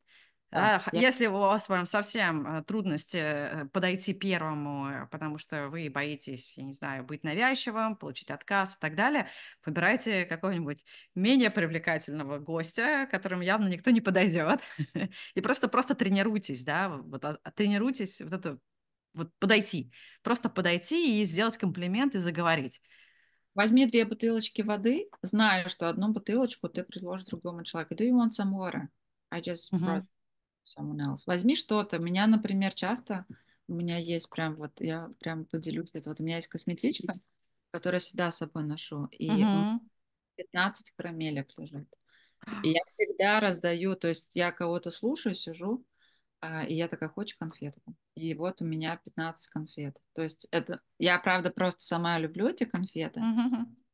Я тоже не хочу, я все время, знаешь, Аня, немножко переживаю, что люди это могут звучать, как, знаешь, такой этот прагматик, который нет. Я просто делюсь конфетами, но это тоже можно, ты можешь продолжить этот разговор. Or like, is it here? Или типа, а может, ты, зна- а ты же знаешь уже, типа, я вот этого, а как его зовут? Потому что иногда я не могу, например, там, мне не знаю, ссылка не открывается, интернет не работает. Иногда организаторы забывают, на, то есть там, или я там опоздала на мероприятие и не понимаю, кто вот двое человек сидят, разговаривают, никого не знаю. Do you know. Типа, а потом, да-да-да, вот это вот этот человек. И ты продолжаешь разговор. То есть ты органично входишь а, в этот разговор просто с человеком, который ам, рядом а, находится. Но это важно научиться, наверное, потому что наша вся встреча с тобой это посвящена. Я бы сказала, что это навык, его можно отработать. Я конкретно с этим тоже помогаю. Как начать? То есть сделать первый шаг– это наша личная ответственность, это на нас. Потому что некоторые мне тоже люди говорят, ну если им, надо, они сами начнут разговор. Вот мне кажется, это самая максимальная вообще ловушка, какая только может быть. Человек не, не знает, что ему нужно, во-первых. Во-вторых, он же не знает, кто ты, что ты, как, как бы там у него свои мысли, у него, может быть, какие-то свои цели, почему он здесь или еще что-то. Но вот научиться от, потренировать в себе навык, начать первым разговор, я считаю, что это очень важный навык. Это вообще важный навык в жизни, потому что столько всего в нашей жизни происходит, и просто легко подходить к людям, начинать первым разговор, это помогает во очень многих жизненных ситуациях. Мне кажется, просто, ну, вот во всех сферах там жизни, которые у нас есть, это всегда помогает. А, И с каждым разом ты, правда, меньше стрессуешь, так как это навык. Ты больше тренируешься, у тебя меньше страха, а, ты увереннее себя в этом чувствуешь, и а, это как бы более органично, скажем так, происходит. Потому что я вижу, что для некоторых людей как бы, может быть, там первые 5, 10, 15, 20 раз как-то, может быть, ты чувствуешь, нет, что-то не то, а потом оно само просто начинает просто как часть тебя становиться. Да, это, это скилл такой, который можно приобрести. В, в отличие, там, я не знаю, от чего-то еще, да, и- хотя я не знаю, что можно не приобрести, да, мне кажется, любой скилл можно так или иначе развить, и точно можно развить скилл нетворкинга и э, вот э, подходить первыми. Мне очень понравилось, а, я сразу себе в голове провела аналогию про а, поиск работы. Так как я этим очень много и плотно занимаюсь, э, есть категория людей, которые говорят, я не буду показывать, что я open to work, например, ставить зеленый бейдж. Или я не буду говорить э, и заявлять, писать на LinkedIn пост, что я ищу работу, потому что я хороший специалист, меня и так должны заметить, и ко мне должны прийти. Кто-то, возможно, заметит, но есть э, а, гигантское количество людей, которые этого не заметят. То есть э, с таким подходом вы просто очень сильно себя ограничиваете от потенциальных возможностей. Поэтому никто, кроме вас, не знает, что вам нужна работа или что вам нужно, нужно это знакомство что у вас есть какая-то услуга, которую вы готовы продавать. Вот что я делаю, тоже сама с собой часто борюсь, продавать свои услуги. Я думаю, да блин, да что же я 10 раз одно и то же всегда говорю, что у меня есть там консультации, коучинг, я делаю то-то, да, а потом я понимаю, что вот это вот как э, каждый раз э, напоминать, это есть, это есть. Я знаю, что кто-то знает, а есть куча людей, которые не знают.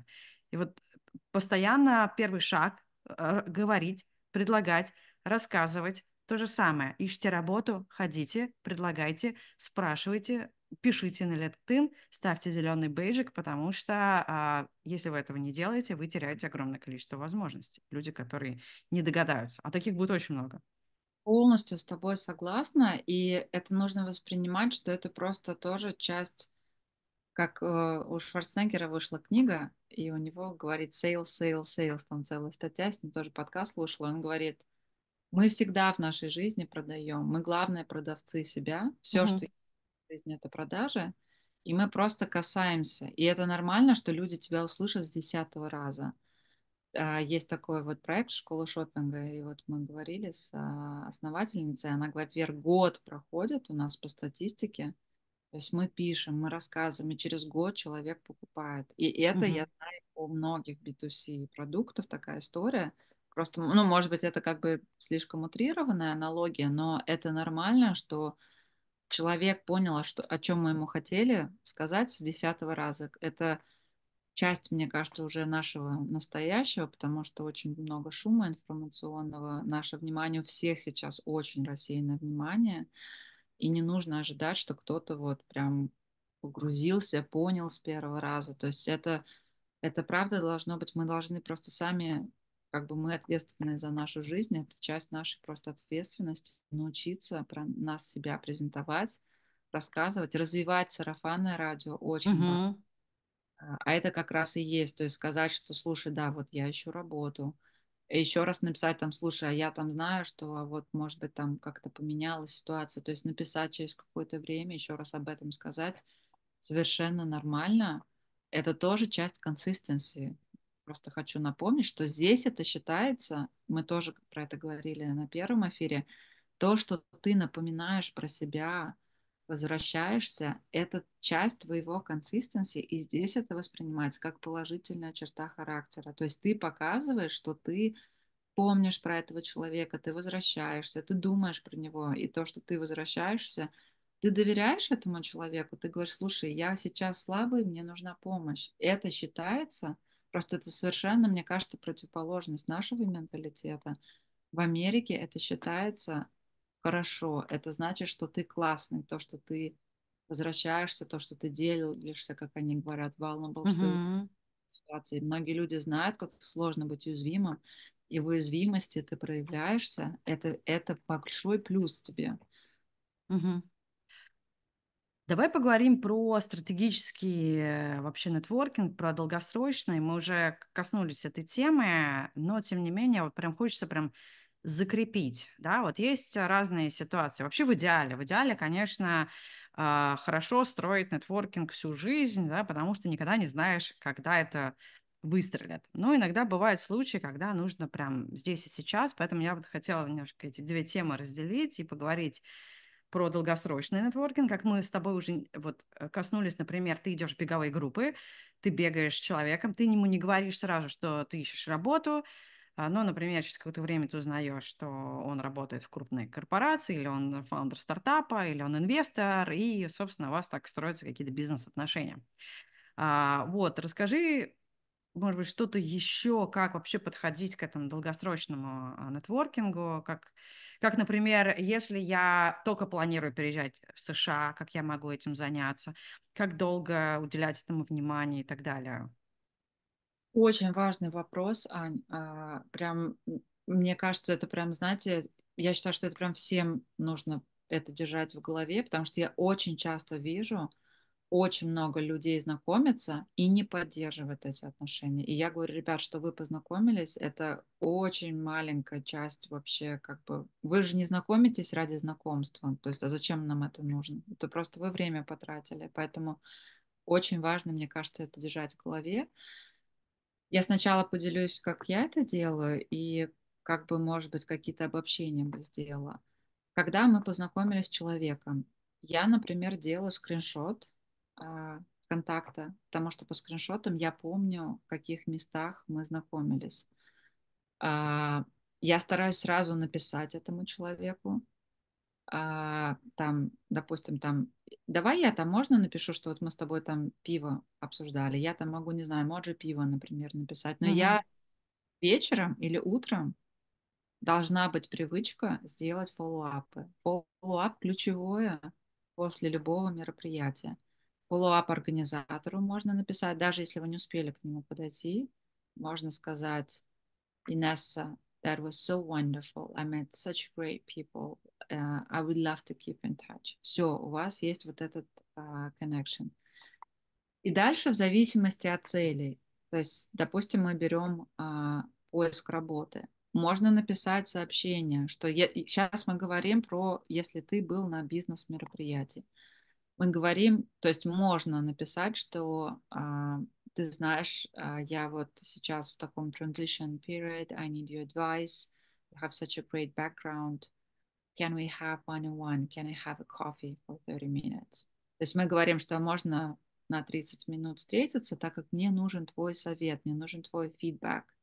Я бы хотела бы, вот как ты рос uh, в твоем профессиональном, в твоей в карьере, допустим, или еще что-то. То есть ты делаешь, ты можешь это написать на следующий день. Если ты просто поздоровался, ты можешь написать и через неделю, но желательно не больше, чем неделя, потому что люди все равно забывают. Мгм. Ты можешь подсветить что-то из ленты этого человека, сказать, слушай, мне так понравился твой вот этот пост. То есть можно прям пролайкать, написать какие-то meaningful, какие- какие-то комментарии написать, подумать и написать. Не чат GPT, видно, что робот написал, а самому их написать и сказать, слушай, там, мне вот нравится, как ты думаешь, о чем ты пишешь, например, и какую-то мысль дать, не просто абстрактно сказать. А, и а я бы хотел на эту тему с тобой поговорить, а, тоже можно так сделать. И дальше, может быть, это... Я всегда говорю, лучше всегда предлагать встречу живьем, потому что когда человек с тобой встречается лично, он тебя не забудет. Когда он встречается с тобой в зуме, он может тебя забыть. Поэтому всегда первое, предлагаю всегда лично предлагать встречу. Если человек не может, то говорит, ну да, давай там, может быть, зум или там человек улетел уже или в другом городе, там, а давай по зуму встретимся. То есть всегда классно вытаскивать на встречу, на звонок. Иногда бывает, что ты конкретно, вот ты понимаешь, что человек вообще никак не связан, то есть он тебе никак, в принципе, вообще даже теоретически не может помочь, хотя такое очень редко бывает. Обычно все могут как-то помочь. Но, допустим, да, там, а, ты можешь поздравлять с днем рождения. LinkedIn показывает дни рождения, Telegram показывает а, дни рождения, а, Facebook показывает дни рождения. Поэтому чем больше платформах вы делаете connections, тем лучше на самом деле. Вы можете добавиться с человеком и на Фейсбуке, и на LinkedIn. Сказать, ты знаешь, а у меня там Facebook более личный, давай там тоже будем общаться. То есть это нормально, когда вы на нескольких платформах делаете connection. Второе, ты можешь делиться чем-то. Слушай, а я иду на это мероприятие, мы с тобой туда ходили, пойдем вместе. Ты даешь какую-то полезную информацию ты готовила пирожки, тебе понравился подкаст. Ты такой, а, мне вот этим ребятам я сейчас знакомился, я им скину подкаст, слушай, этот подкаст послушал. То есть это и называется meaningful follow-ups. То есть мы поддерживаем наше общение. В моем конкретном случае, там, я делаю здесь часто мероприятия, делаю ужины, куда зову разных людей. Я работаю сейчас, меня, поздравь, меня взяли на борт невероятно классного музея графического дизайна здесь в Сан-Франциско. Мы делаем такие бранчи на 10-12 человек, куда я тоже зову и инвесторов, и людей, просто людей, вот, кто мне нравится. Я, например, людей, кто вот я, допустим, хочу ближе познакомиться, у меня есть там кто-то незнакомый, или я, вот мы три минуты пообщались, но мне понравился человек, я их зову, например, на мероприятие. Я говорю, а вот я делаю ивент, приходи, там будут другие классные люди, и вообще пространство очень классно. У меня тоже люди очень хорошо на это реагируют. Я даже более того скажу, это может быть мы здесь такие как бы high-low level, да, с тобой ага. Я более того скажу, а, просто у меня тоже были на консультациях, там человек живет там в не очень большом городе. Я говорю, сделай свое мероприятие, сделай свой завтрак в кафе, или там, если ты не боишься, просто некоторые дни хотят домой звать, а, сделай у себя дома, сделай в парке, сделай пикник, сделай барбекю, сделай свое мероприятие, Пусть это будет твой вызов года. Ни разу не делал мероприятий. Вот. Пусть у тебя будет вызов самому себе 2024. Я сделаю мероприятие сам. И сделаешь барбекю. Позови всех людей, с кем бы ты хотел продолжить общение. Это очень хорошее. Ты, когда ты зовешь на свое мероприятие, ты проявляешь доверие, что ты понравился этому человеку. Ты все-таки зовешь кто-то, кто тебе лично отвлекается, на самом деле то, как мы чувствуем, оно очень, мне кажется, правильное какой-то такой компас внутренний. Это значит, что ты подбираешь людей как себя. Обычно комьюнити так и строится, что мы подбираем себе подобно, с кем нам хорошо. Скорее всего, этим людям будет друг с другом хорошо. А, и это очень важно тоже держать а, в голове. И это нормально, что ты кого-то не знаешь. В Америке это совершенно нормально звать людей, если человек, потому что у меня такие тоже есть возражения, что а как-то я позову человека, он же меня не знает. Это совершенно нормально. В Америке это, я бы сказала, даже принято. То есть а, это, мне кажется, тоже это совершенно как раз важно держать, что это просто разница менталитета. Это не с тобой что-то не так, что ты так думаешь, это просто твой менталитет в тебе так говорит, что это ненормально, это совершенно нормально. Я всегда стараюсь звать не сто процентов незнакомых людей, а я стараюсь сделать так, что это 50, 60, 70 процентов людей, которых я знаю, и 30, 40, 20 процентов людей, которых я прям вот не знаю. А, и чтобы эти люди, то есть не звать, например, у тебя пять есть прям близких друзей, и одного незнакомого человека ты позвал. Понятно, что этот человек будет себя очень комфортно себя чувствовать. То есть а, это какой-то такой правильная какая-то динамика группы, группы в голове держать. Это нормально, что люди отказывают в последний момент, что они говорят, нет, это нормально, ты запланировал одно мероприятие, тебе, скорее всего, я даю вам гарантию, что вам понравится это мероприятие, и потом ты делаешь другое мероприятие, а потом человек, то есть он может быть не на второе, не на третье, на четвертое придет. Но если ты позвал человека четыре раза на мероприятие, и человек не смог прийти, сказать, а давай, слушай, а давай просто созвонимся. Тебе будет намного комфортнее созваниваться, потому что ты сделал четыре шага вперед.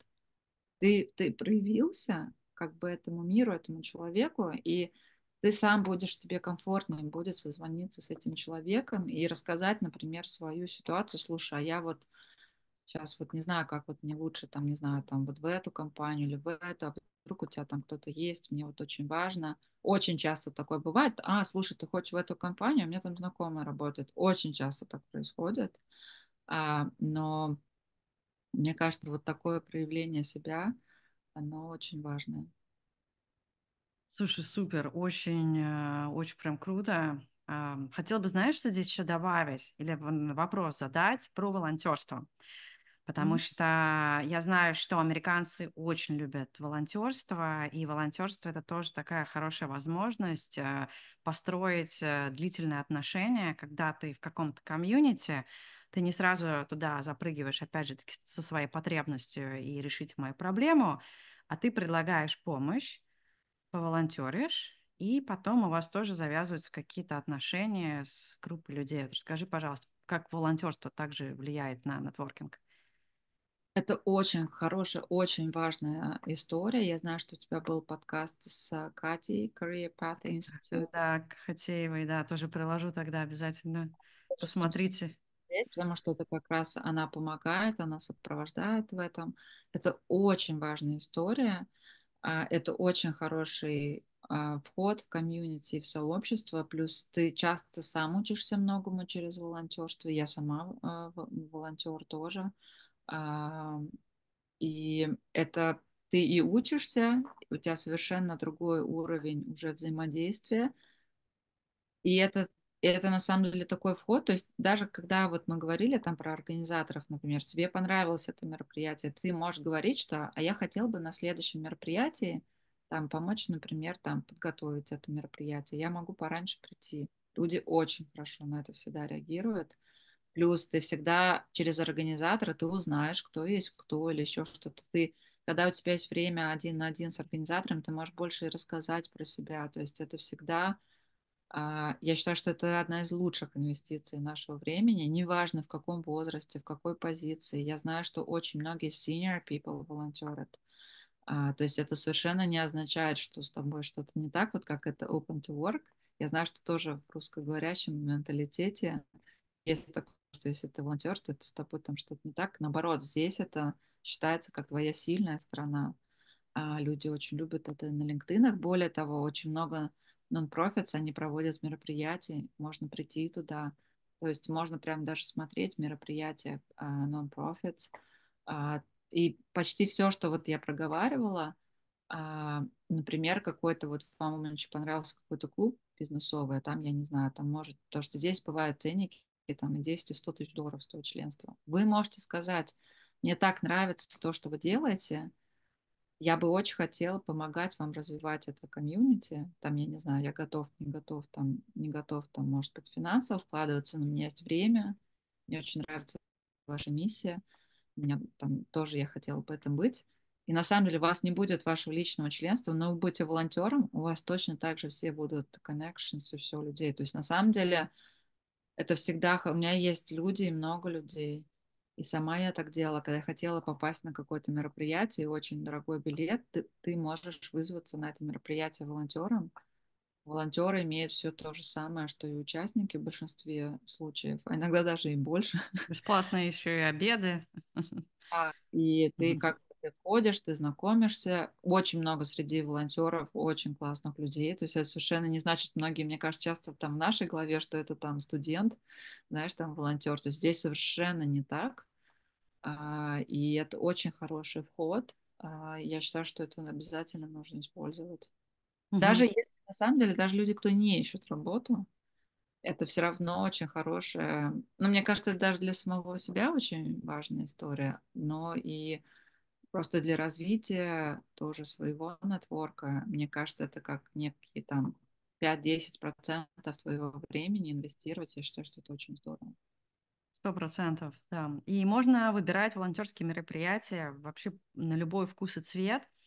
Я лично всегда волонтерю, ну, естественно, на беговых мероприятиях. Я амбассадор э, крупнейшего забега в Техасе на 10 километров. И, кстати, э, я буду второй год то есть у меня да, продлевается контракт мой, я продолжаю в этом году сезоне. Беговой сезон у нас начинается с осени по конец весны, лето у нас, наоборот, межсезонье. Это для э, тех, кто живет э, не в Техасе, возможно, будет сюрпризом. У нас лето очень жаркое, у нас ничего нету летом. Вот, поэтому в этом сезоне школьном, да, можно так сказать, я тоже э, амбассадор. В мои амбассадорские обязательства входит волонтерство в том числе. Я обязана волонтерить на нескольких мероприятиях, обязана бегать и присутствовать в качестве вот в майке ходить. И за это мне дают тоже очень много бесплатных всяких штук.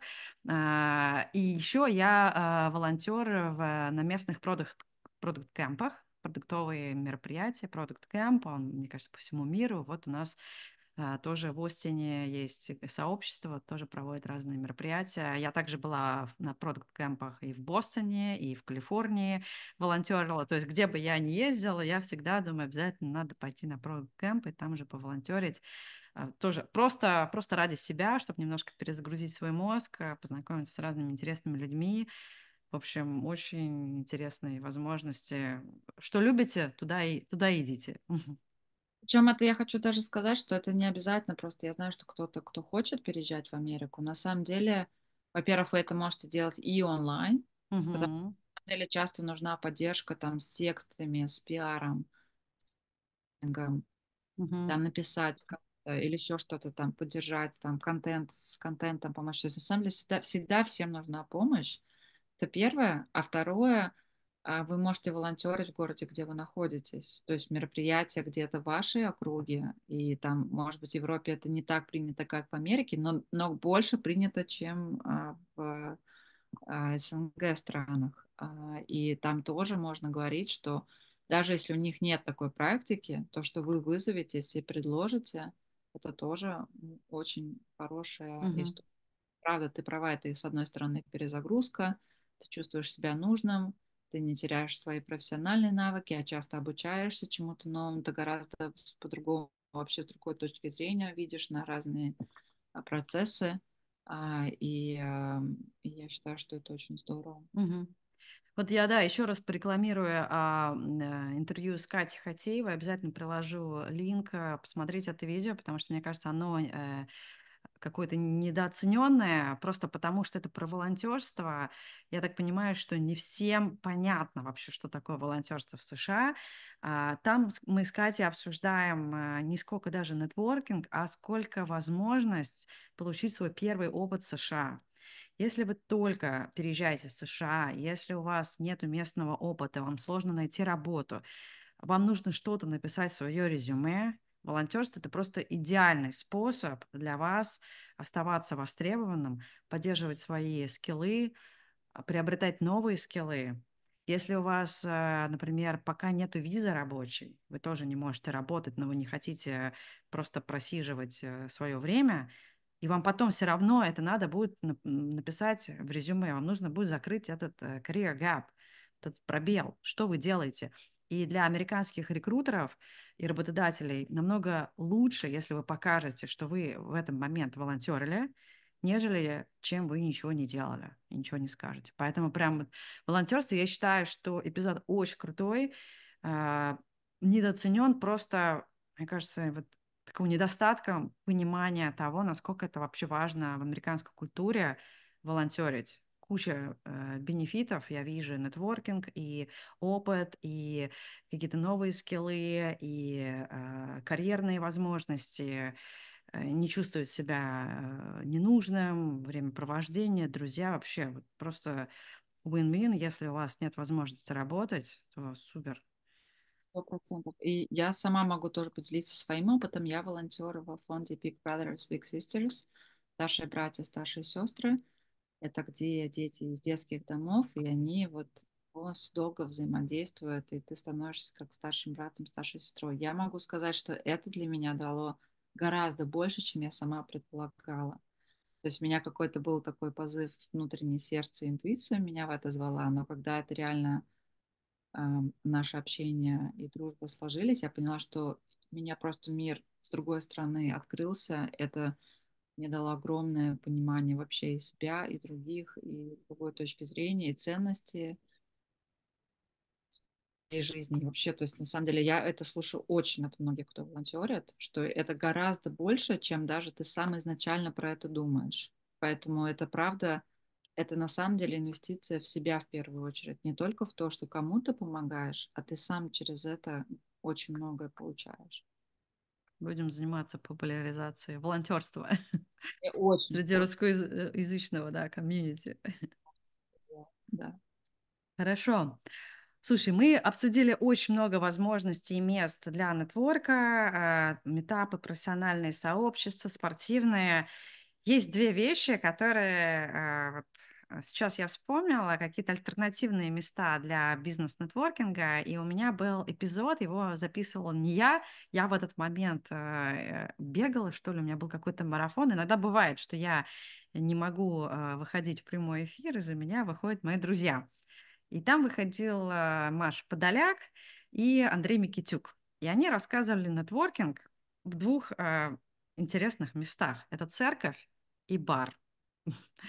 Я приложу обязательно а, ссылку на этот эпизод. А, Маша Подоляк очень как бы рекомендовала церковь.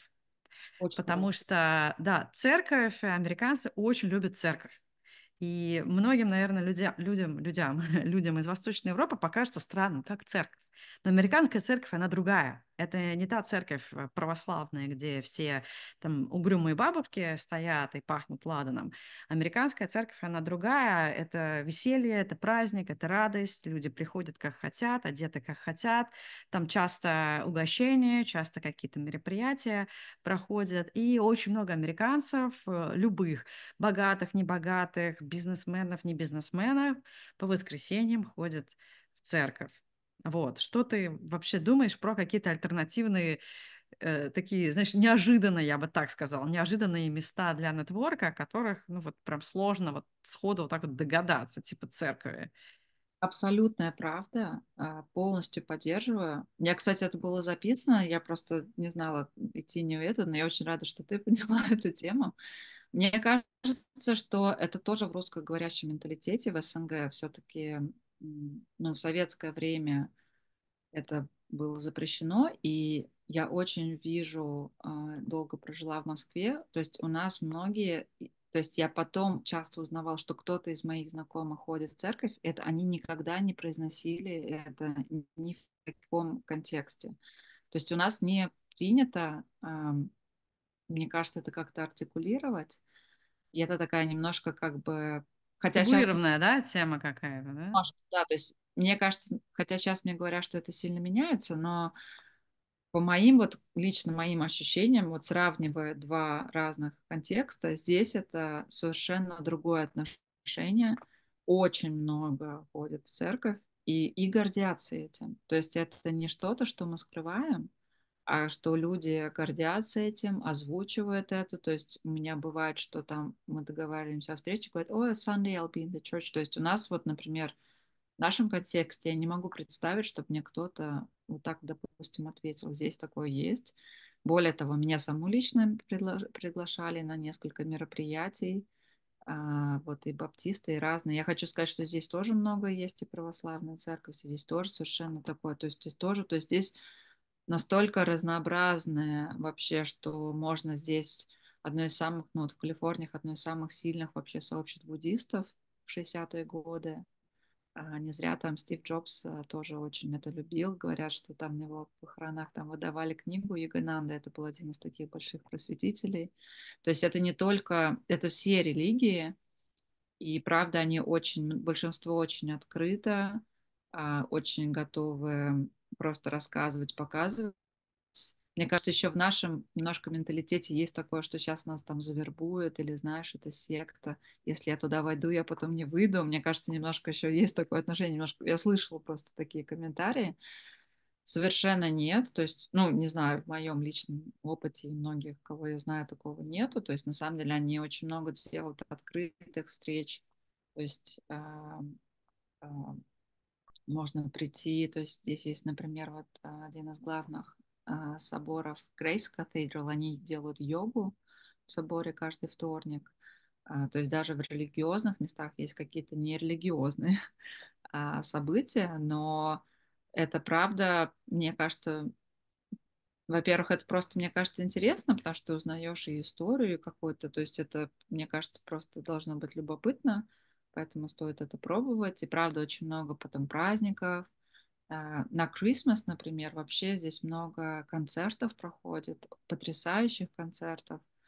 А, и можно прийти и на День Благодарения. И мне кажется, как раз я знаю, что некоторые на Christmas даже есть какие-то туры, которые, знаешь, вот мы сначала туда едем, мы там слушаем концерт, потом туда, потом туда. То есть это такое, это большое событие для города, в каком бы городе вы ни находились.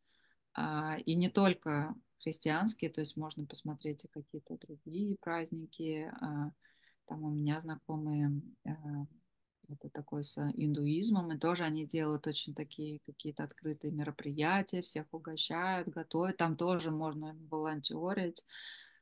Никто тебя не спрашивает, а ты крещенный или нет. То есть они на самом деле всегда очень открыты.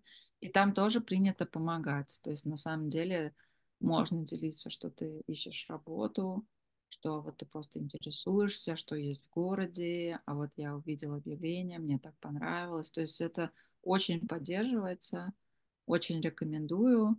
И ты еще упомянула бары. Бары, безусловно, да, очень принято в барах тоже знакомиться, общаться. А, очень много приходит там какой-то happy hour. Мне кажется, вообще happy uh-huh. hour есть такой равно network. Иногда uh-huh. у меня есть При этом бар, да, здесь прям прям барная стойка, да, вот да. когда ты приходишь, садишься за барную стойку, где э, разные люди сидят, и вот, в общем, ты там можешь и поесть, и попить, а можешь и не пить, да, и, собственно, вот как бы тоже сидеть и знакомиться. Вот тоже Маша Подоляк мне рекомендовала давно, еще несколько, пять лет назад. Она говорит, я знакомлюсь в барах. Я прихожу, беру себе вино, сажусь и смотрю э, на людей. Особенно если это какие-то одинокие люди сидят, ты просто тоже подходишь рядышком, да, и все. И у вас, э, да, затевается этот разговор, тоже абсолютно Нет. считается нормальным, да. Совершенно нормально, несколько общений до сих пор мы общаемся, оказались очень интересные люди. Но очень важно тоже фуллапы делать, потому что иногда угу. люди, а потом вообще не пересписываются. То есть угу. там, да. Причем я могу сказать, что мне кажется, тоже немножко в нашем менталитете в это закладывается что-то романтическое. Но я не сказала бы, что здесь так. То есть здесь, мне кажется, просто люди гораздо больше знакомятся и, и много не вкладывают. Без подтекста, да, вот этого вот? Ты можешь и с девушкой познакомиться, и парни с парнями знакомятся. То есть это совершенно... Ну, я не могу сказать, что этого нету, конечно, это есть, просто это меньше, чем в нашей голове, мне кажется, в нашем угу. в этом. Согласна, согласна. Хорошо. А, давай поговорим про такой краткосрочный нетворкинг, когда вот, вот прямо сейчас нужно. Меня уволили, деньги заканчиваются, а рекрутеры не смотрят мои, мое резюме, потому что там по тысяче человек на позиции. И вот мне нужно как-то найти людей из Мета, из Гугла, из каких-то других компаний. Вот что в данном случае делать, как, как себе помочь? Я бы первое э, смотрела бы э, mutual friends, то есть это угу. смотреть, возвращаться в LinkedIn и просить прямо знакомиться. Мы сейчас говорим про офлайн мероприятия. Я бы смотрела мероприятия, которые делают эти компании. И даже если вы не можете, например, поехать или пойти, вы все равно можете написать организаторам и сказать, что я вот не смог там доехать, но мне вот хотелось бы поволонтерить, или мне бы хотелось бы ближе познакомиться, можем созвониться. Можно все равно написать спикерам, даже если вы не были на мероприятии. А, и а, тоже можно с разными посылами это делать. И я бы прямо воспринимала бы это немножко даже как часть работы, поиска работы. Поиск работы тоже работа. Uh-huh. И этого поиска закладывала бы 10-20% вашего времени ходить на мероприятия, потому что все равно личное знакомство никто никогда не отменит, что бы ни происходило в нашей жизни. Это совершенно другое, когда вот мы вот так говорим mm-hmm. с кем и общаемся. И... Много разных job, вот этих вот job markets, да, они называются, и компании сами проводят мероприятия, чтобы привлекать mm-hmm. кандидатов. До сих пор вот э, я ходила даже в Expedia, компанию. Просто мне было интересно посмотреть на их офис. И они там организовывали мероприятия для потенциальных э, э, сотрудников, для кандидатов, предоставляли разные вкусняшки, кормили, знаешь, как бы вообще отлично, и познакомиться, и, и покушать. Мне кажется, да, стоит посмотреть просто, какие компании нравятся, выписать прямо их список, посмотреть действительно их мероприятия, они такое делают, они могут делать какие-то внутри других конференций, какие-то, как они это называют, как side events. А, это часто есть на либо на сайтах компаниях, либо в их лентах этих компаний, либо у топ-менеджеров, и на них стоит обязательно подписаться и тоже встретиться. Более того, можно до мероприятия написать людям, сказать, я иду на это мероприятие, а можно мы, а можно мы с тобой пообщаемся, я бы очень хотела. То есть это у тебя просто выше шанс, что ты прям вот этому, и ты, ты можешь написать, а можно твой мобильный телефон, если мы потеряемся, и ты прям звонишь этому человеку на мероприятие, говорит, а я вот тебе писала на LinkedIn, а вот это я. А, то есть можно готовиться к этим, даже стоит, я бы сказала, что готовиться. А, или наоборот, человек говорит, а меня там не будет. Но все, у вас завязался разговор, и сказать, ой, тебя не будет, так жалко, а давай тогда созвонимся.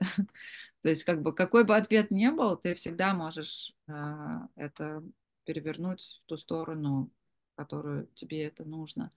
А, и, может быть, какие-то смежные мероприятия. То есть это могут быть, как ты говоришь, там, продукт менеджмент или маркетинг, или это могут быть какие-то мастер-классы или какие-то обучающие истории внутри маркетологов, на них тоже. То есть все, что связано с вашей индустрией, я бы ходила бы на все. Uh-huh. А, более того, вот мы делали здесь завтрак, было Сан-Франциско Climate Week, и у нас был завтрак я хочу сказать, что вот по регистрациям 10-20% было людей, кто ищет работы, что мне кажется очень правильным. То есть эти mm-hmm. люди молодцы, что они увидели это, они зарегистрировались, и ко мне подходили люди, а говорят, а я вот такой-такой, я ищу работу. То есть ну, мы конкретно просто не нанимали в тот момент, но я думаю, ну, этот человек молодец, что он пришел, он не боится, он ко всем подходит, он это говорит, я, мне нужна работа, мне нужна работа, мне нужна работа. Я бы подумала, может быть, как бы как подходить. То есть вот если у тебя есть 15 секунд, подумай, как ты себя презентуешь, потому что я вижу, что некоторые не очень правильно себя презентуют. То есть нужно, мне кажется, сказать, я делаю вот это, вот это, или у меня вот этот бэкграунд.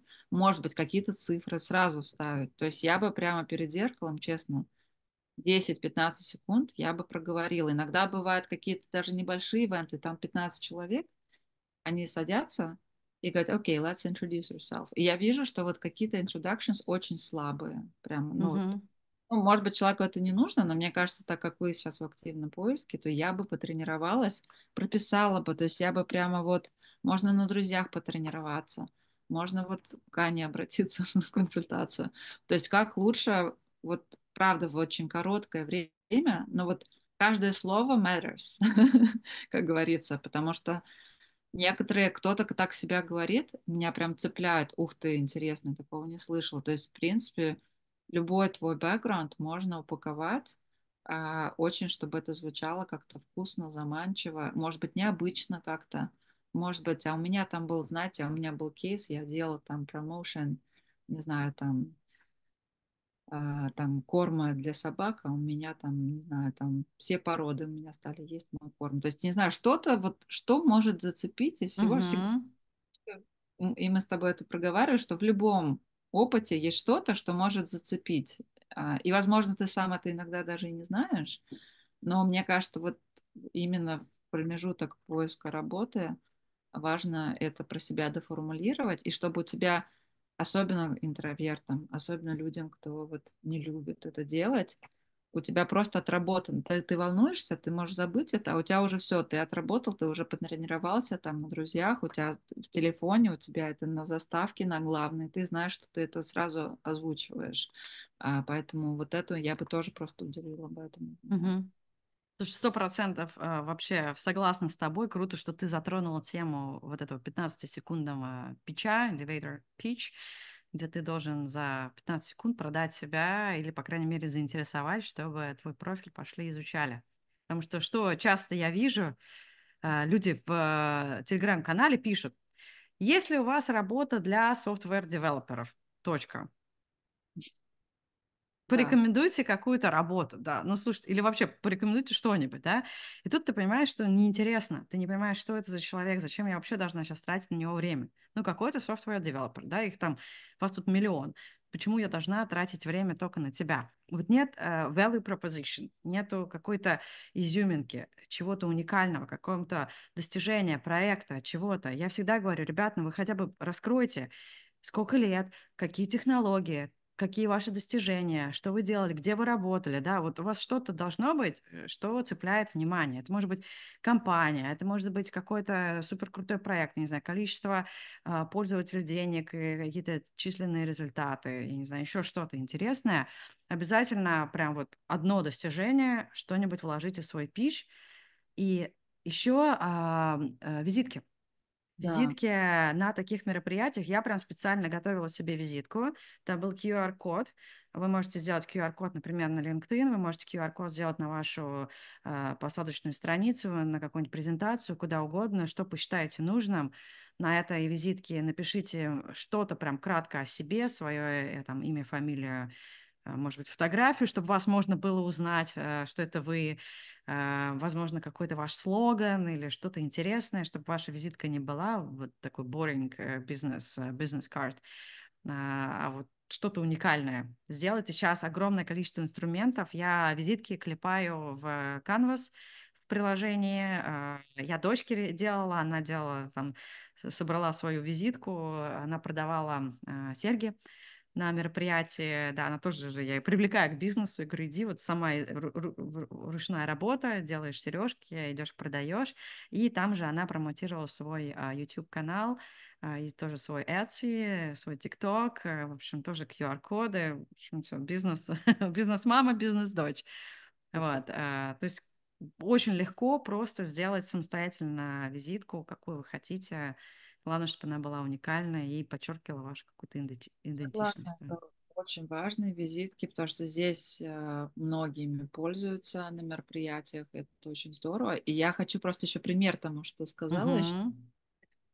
Я была на одной такой закрытой встрече. Там было очень много инвесторов, family office и такие тоже все очень такие важные люди. И я как раз вот а, помогаю с партнерствами для компаний в энергетике. И я вот несколько раз, значит, рассказываю, что я это делаю, и я вижу прям вот, ну вот прям по глазам вижу такие, знаешь, пустые глаза, вообще никак не реагируют. И я думаю, так, не, не работает. Подхожу, значит, к другой, стоит два, двое таких а, серьезных мужчины, и тоже вот я так подошла к ним, и вроде вот уже я слушаю, о чем говорят. Тут какой-то момент про, а, про какого-то мигранта кто-то рассказал. Я говорю, да, а я тоже приехала два с половиной года в Америку, у меня было 800 долларов, 800 долларов я положила в подошву своей обуви, потому что у нас все карты не работали. А если тебя оборот, у тебя вообще нет долларов, они оба разворачивают голову, дают мне визитку и говорят, Вера, очень хотим познакомиться, так интересно. А ты здесь на мероприятии? Я говорю, да, я большой путь прошла. То есть я подумала, то есть для меня это был чисто такое, не то, что я там спланировала elevator pitch, но я подумала, надо что-то совершенно другое говорить. Если это не работает, то, возможно, можно по-другому себя э, презентовать.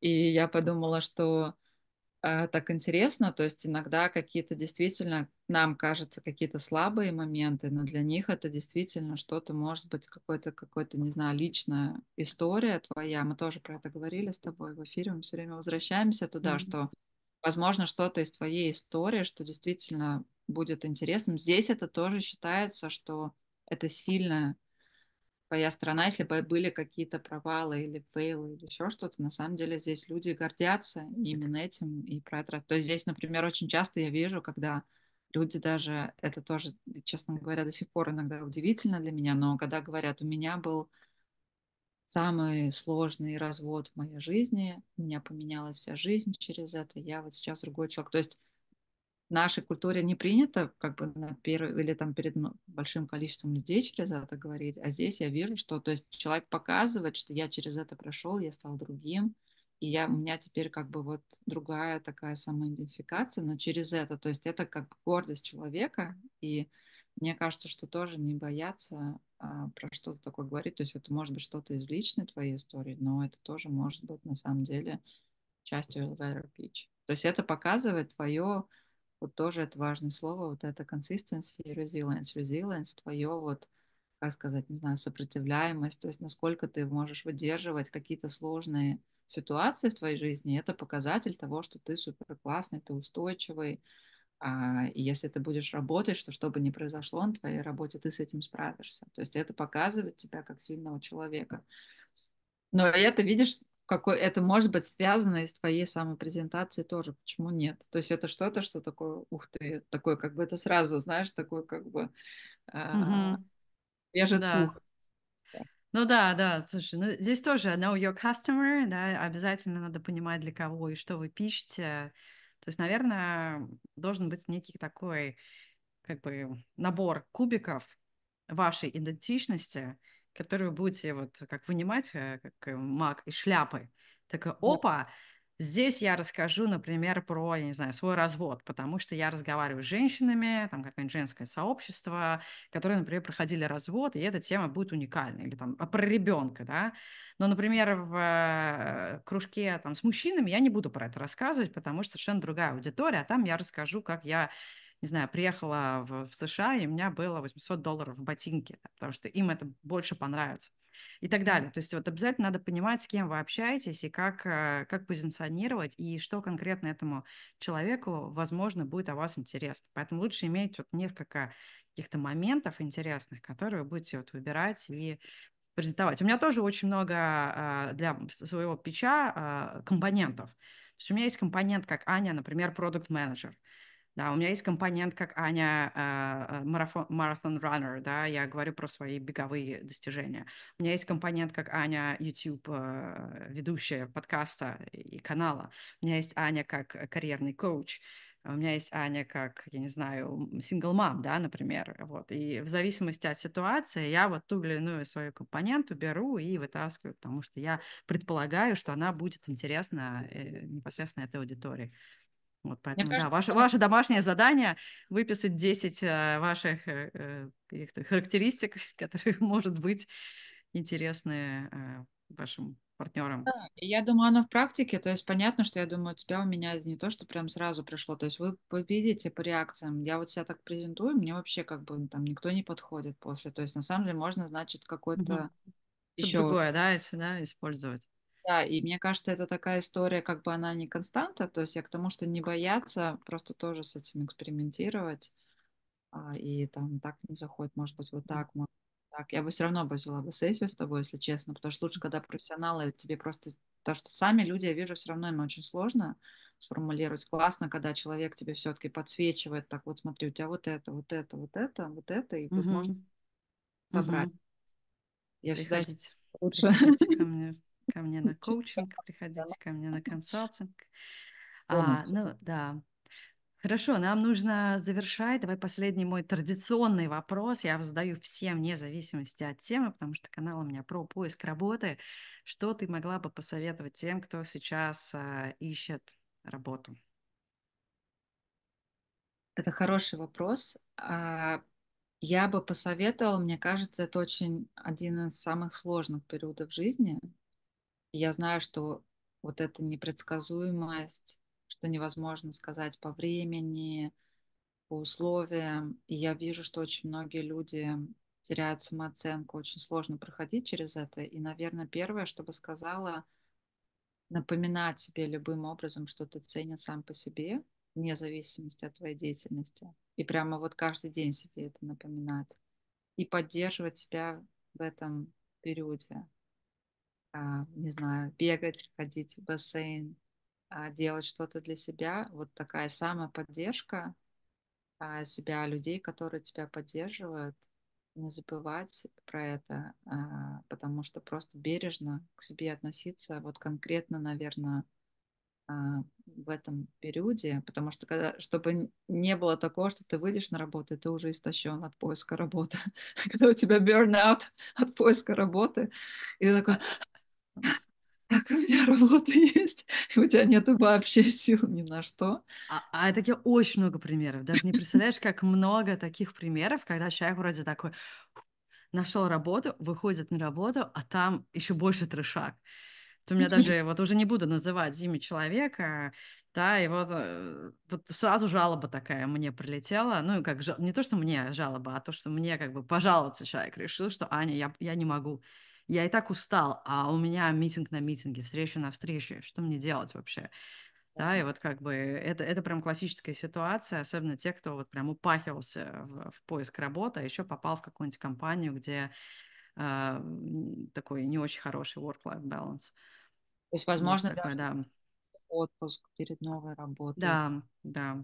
Может быть, правда, вот просто понимать, что тебе самому сейчас нужна помощь, помнить про это и помогать самому себе, чтобы ты сам себе был первым союзником а, и не задавливал себя. Вот, мне кажется, у нас есть поддержка аудитории. У нас есть поддержка аудитории, напоминающая, что хватит здесь уже два часа разговаривать. Это только круг почета был только что за компьютером, вот так вот обошло, да. Э, Мы заканчиваем, не переживай, моя хорошая, и тебе уделим сейчас время. Вот, так что да, мы с тобой сегодня а, два часа разговариваем, как, как в прошлый раз мы тоже два часа с тобой. Я думаю, что, ну, надеюсь, что а, если вы досмотрели это видео до конца, вы большие-большие молодцы, у вас точно все получится. Ставьте Вот, свои спасибо. комментарии. Аня, я знаю, отвечает, я тоже буду отвечать. Отвечаю, Вот, да. Согласны, не согласны, или есть вопросы, очень хотели бы услышать. Да, спасибо, Вер, тебе большое еще раз. А, Обязательно задавайте вопросы, если есть какие-то темы, которые мы еще не раскрыли. Хотя, мне кажется, за два эпизода 4 часа можно собрать просто гайд. Может быть, я даже это сделаю.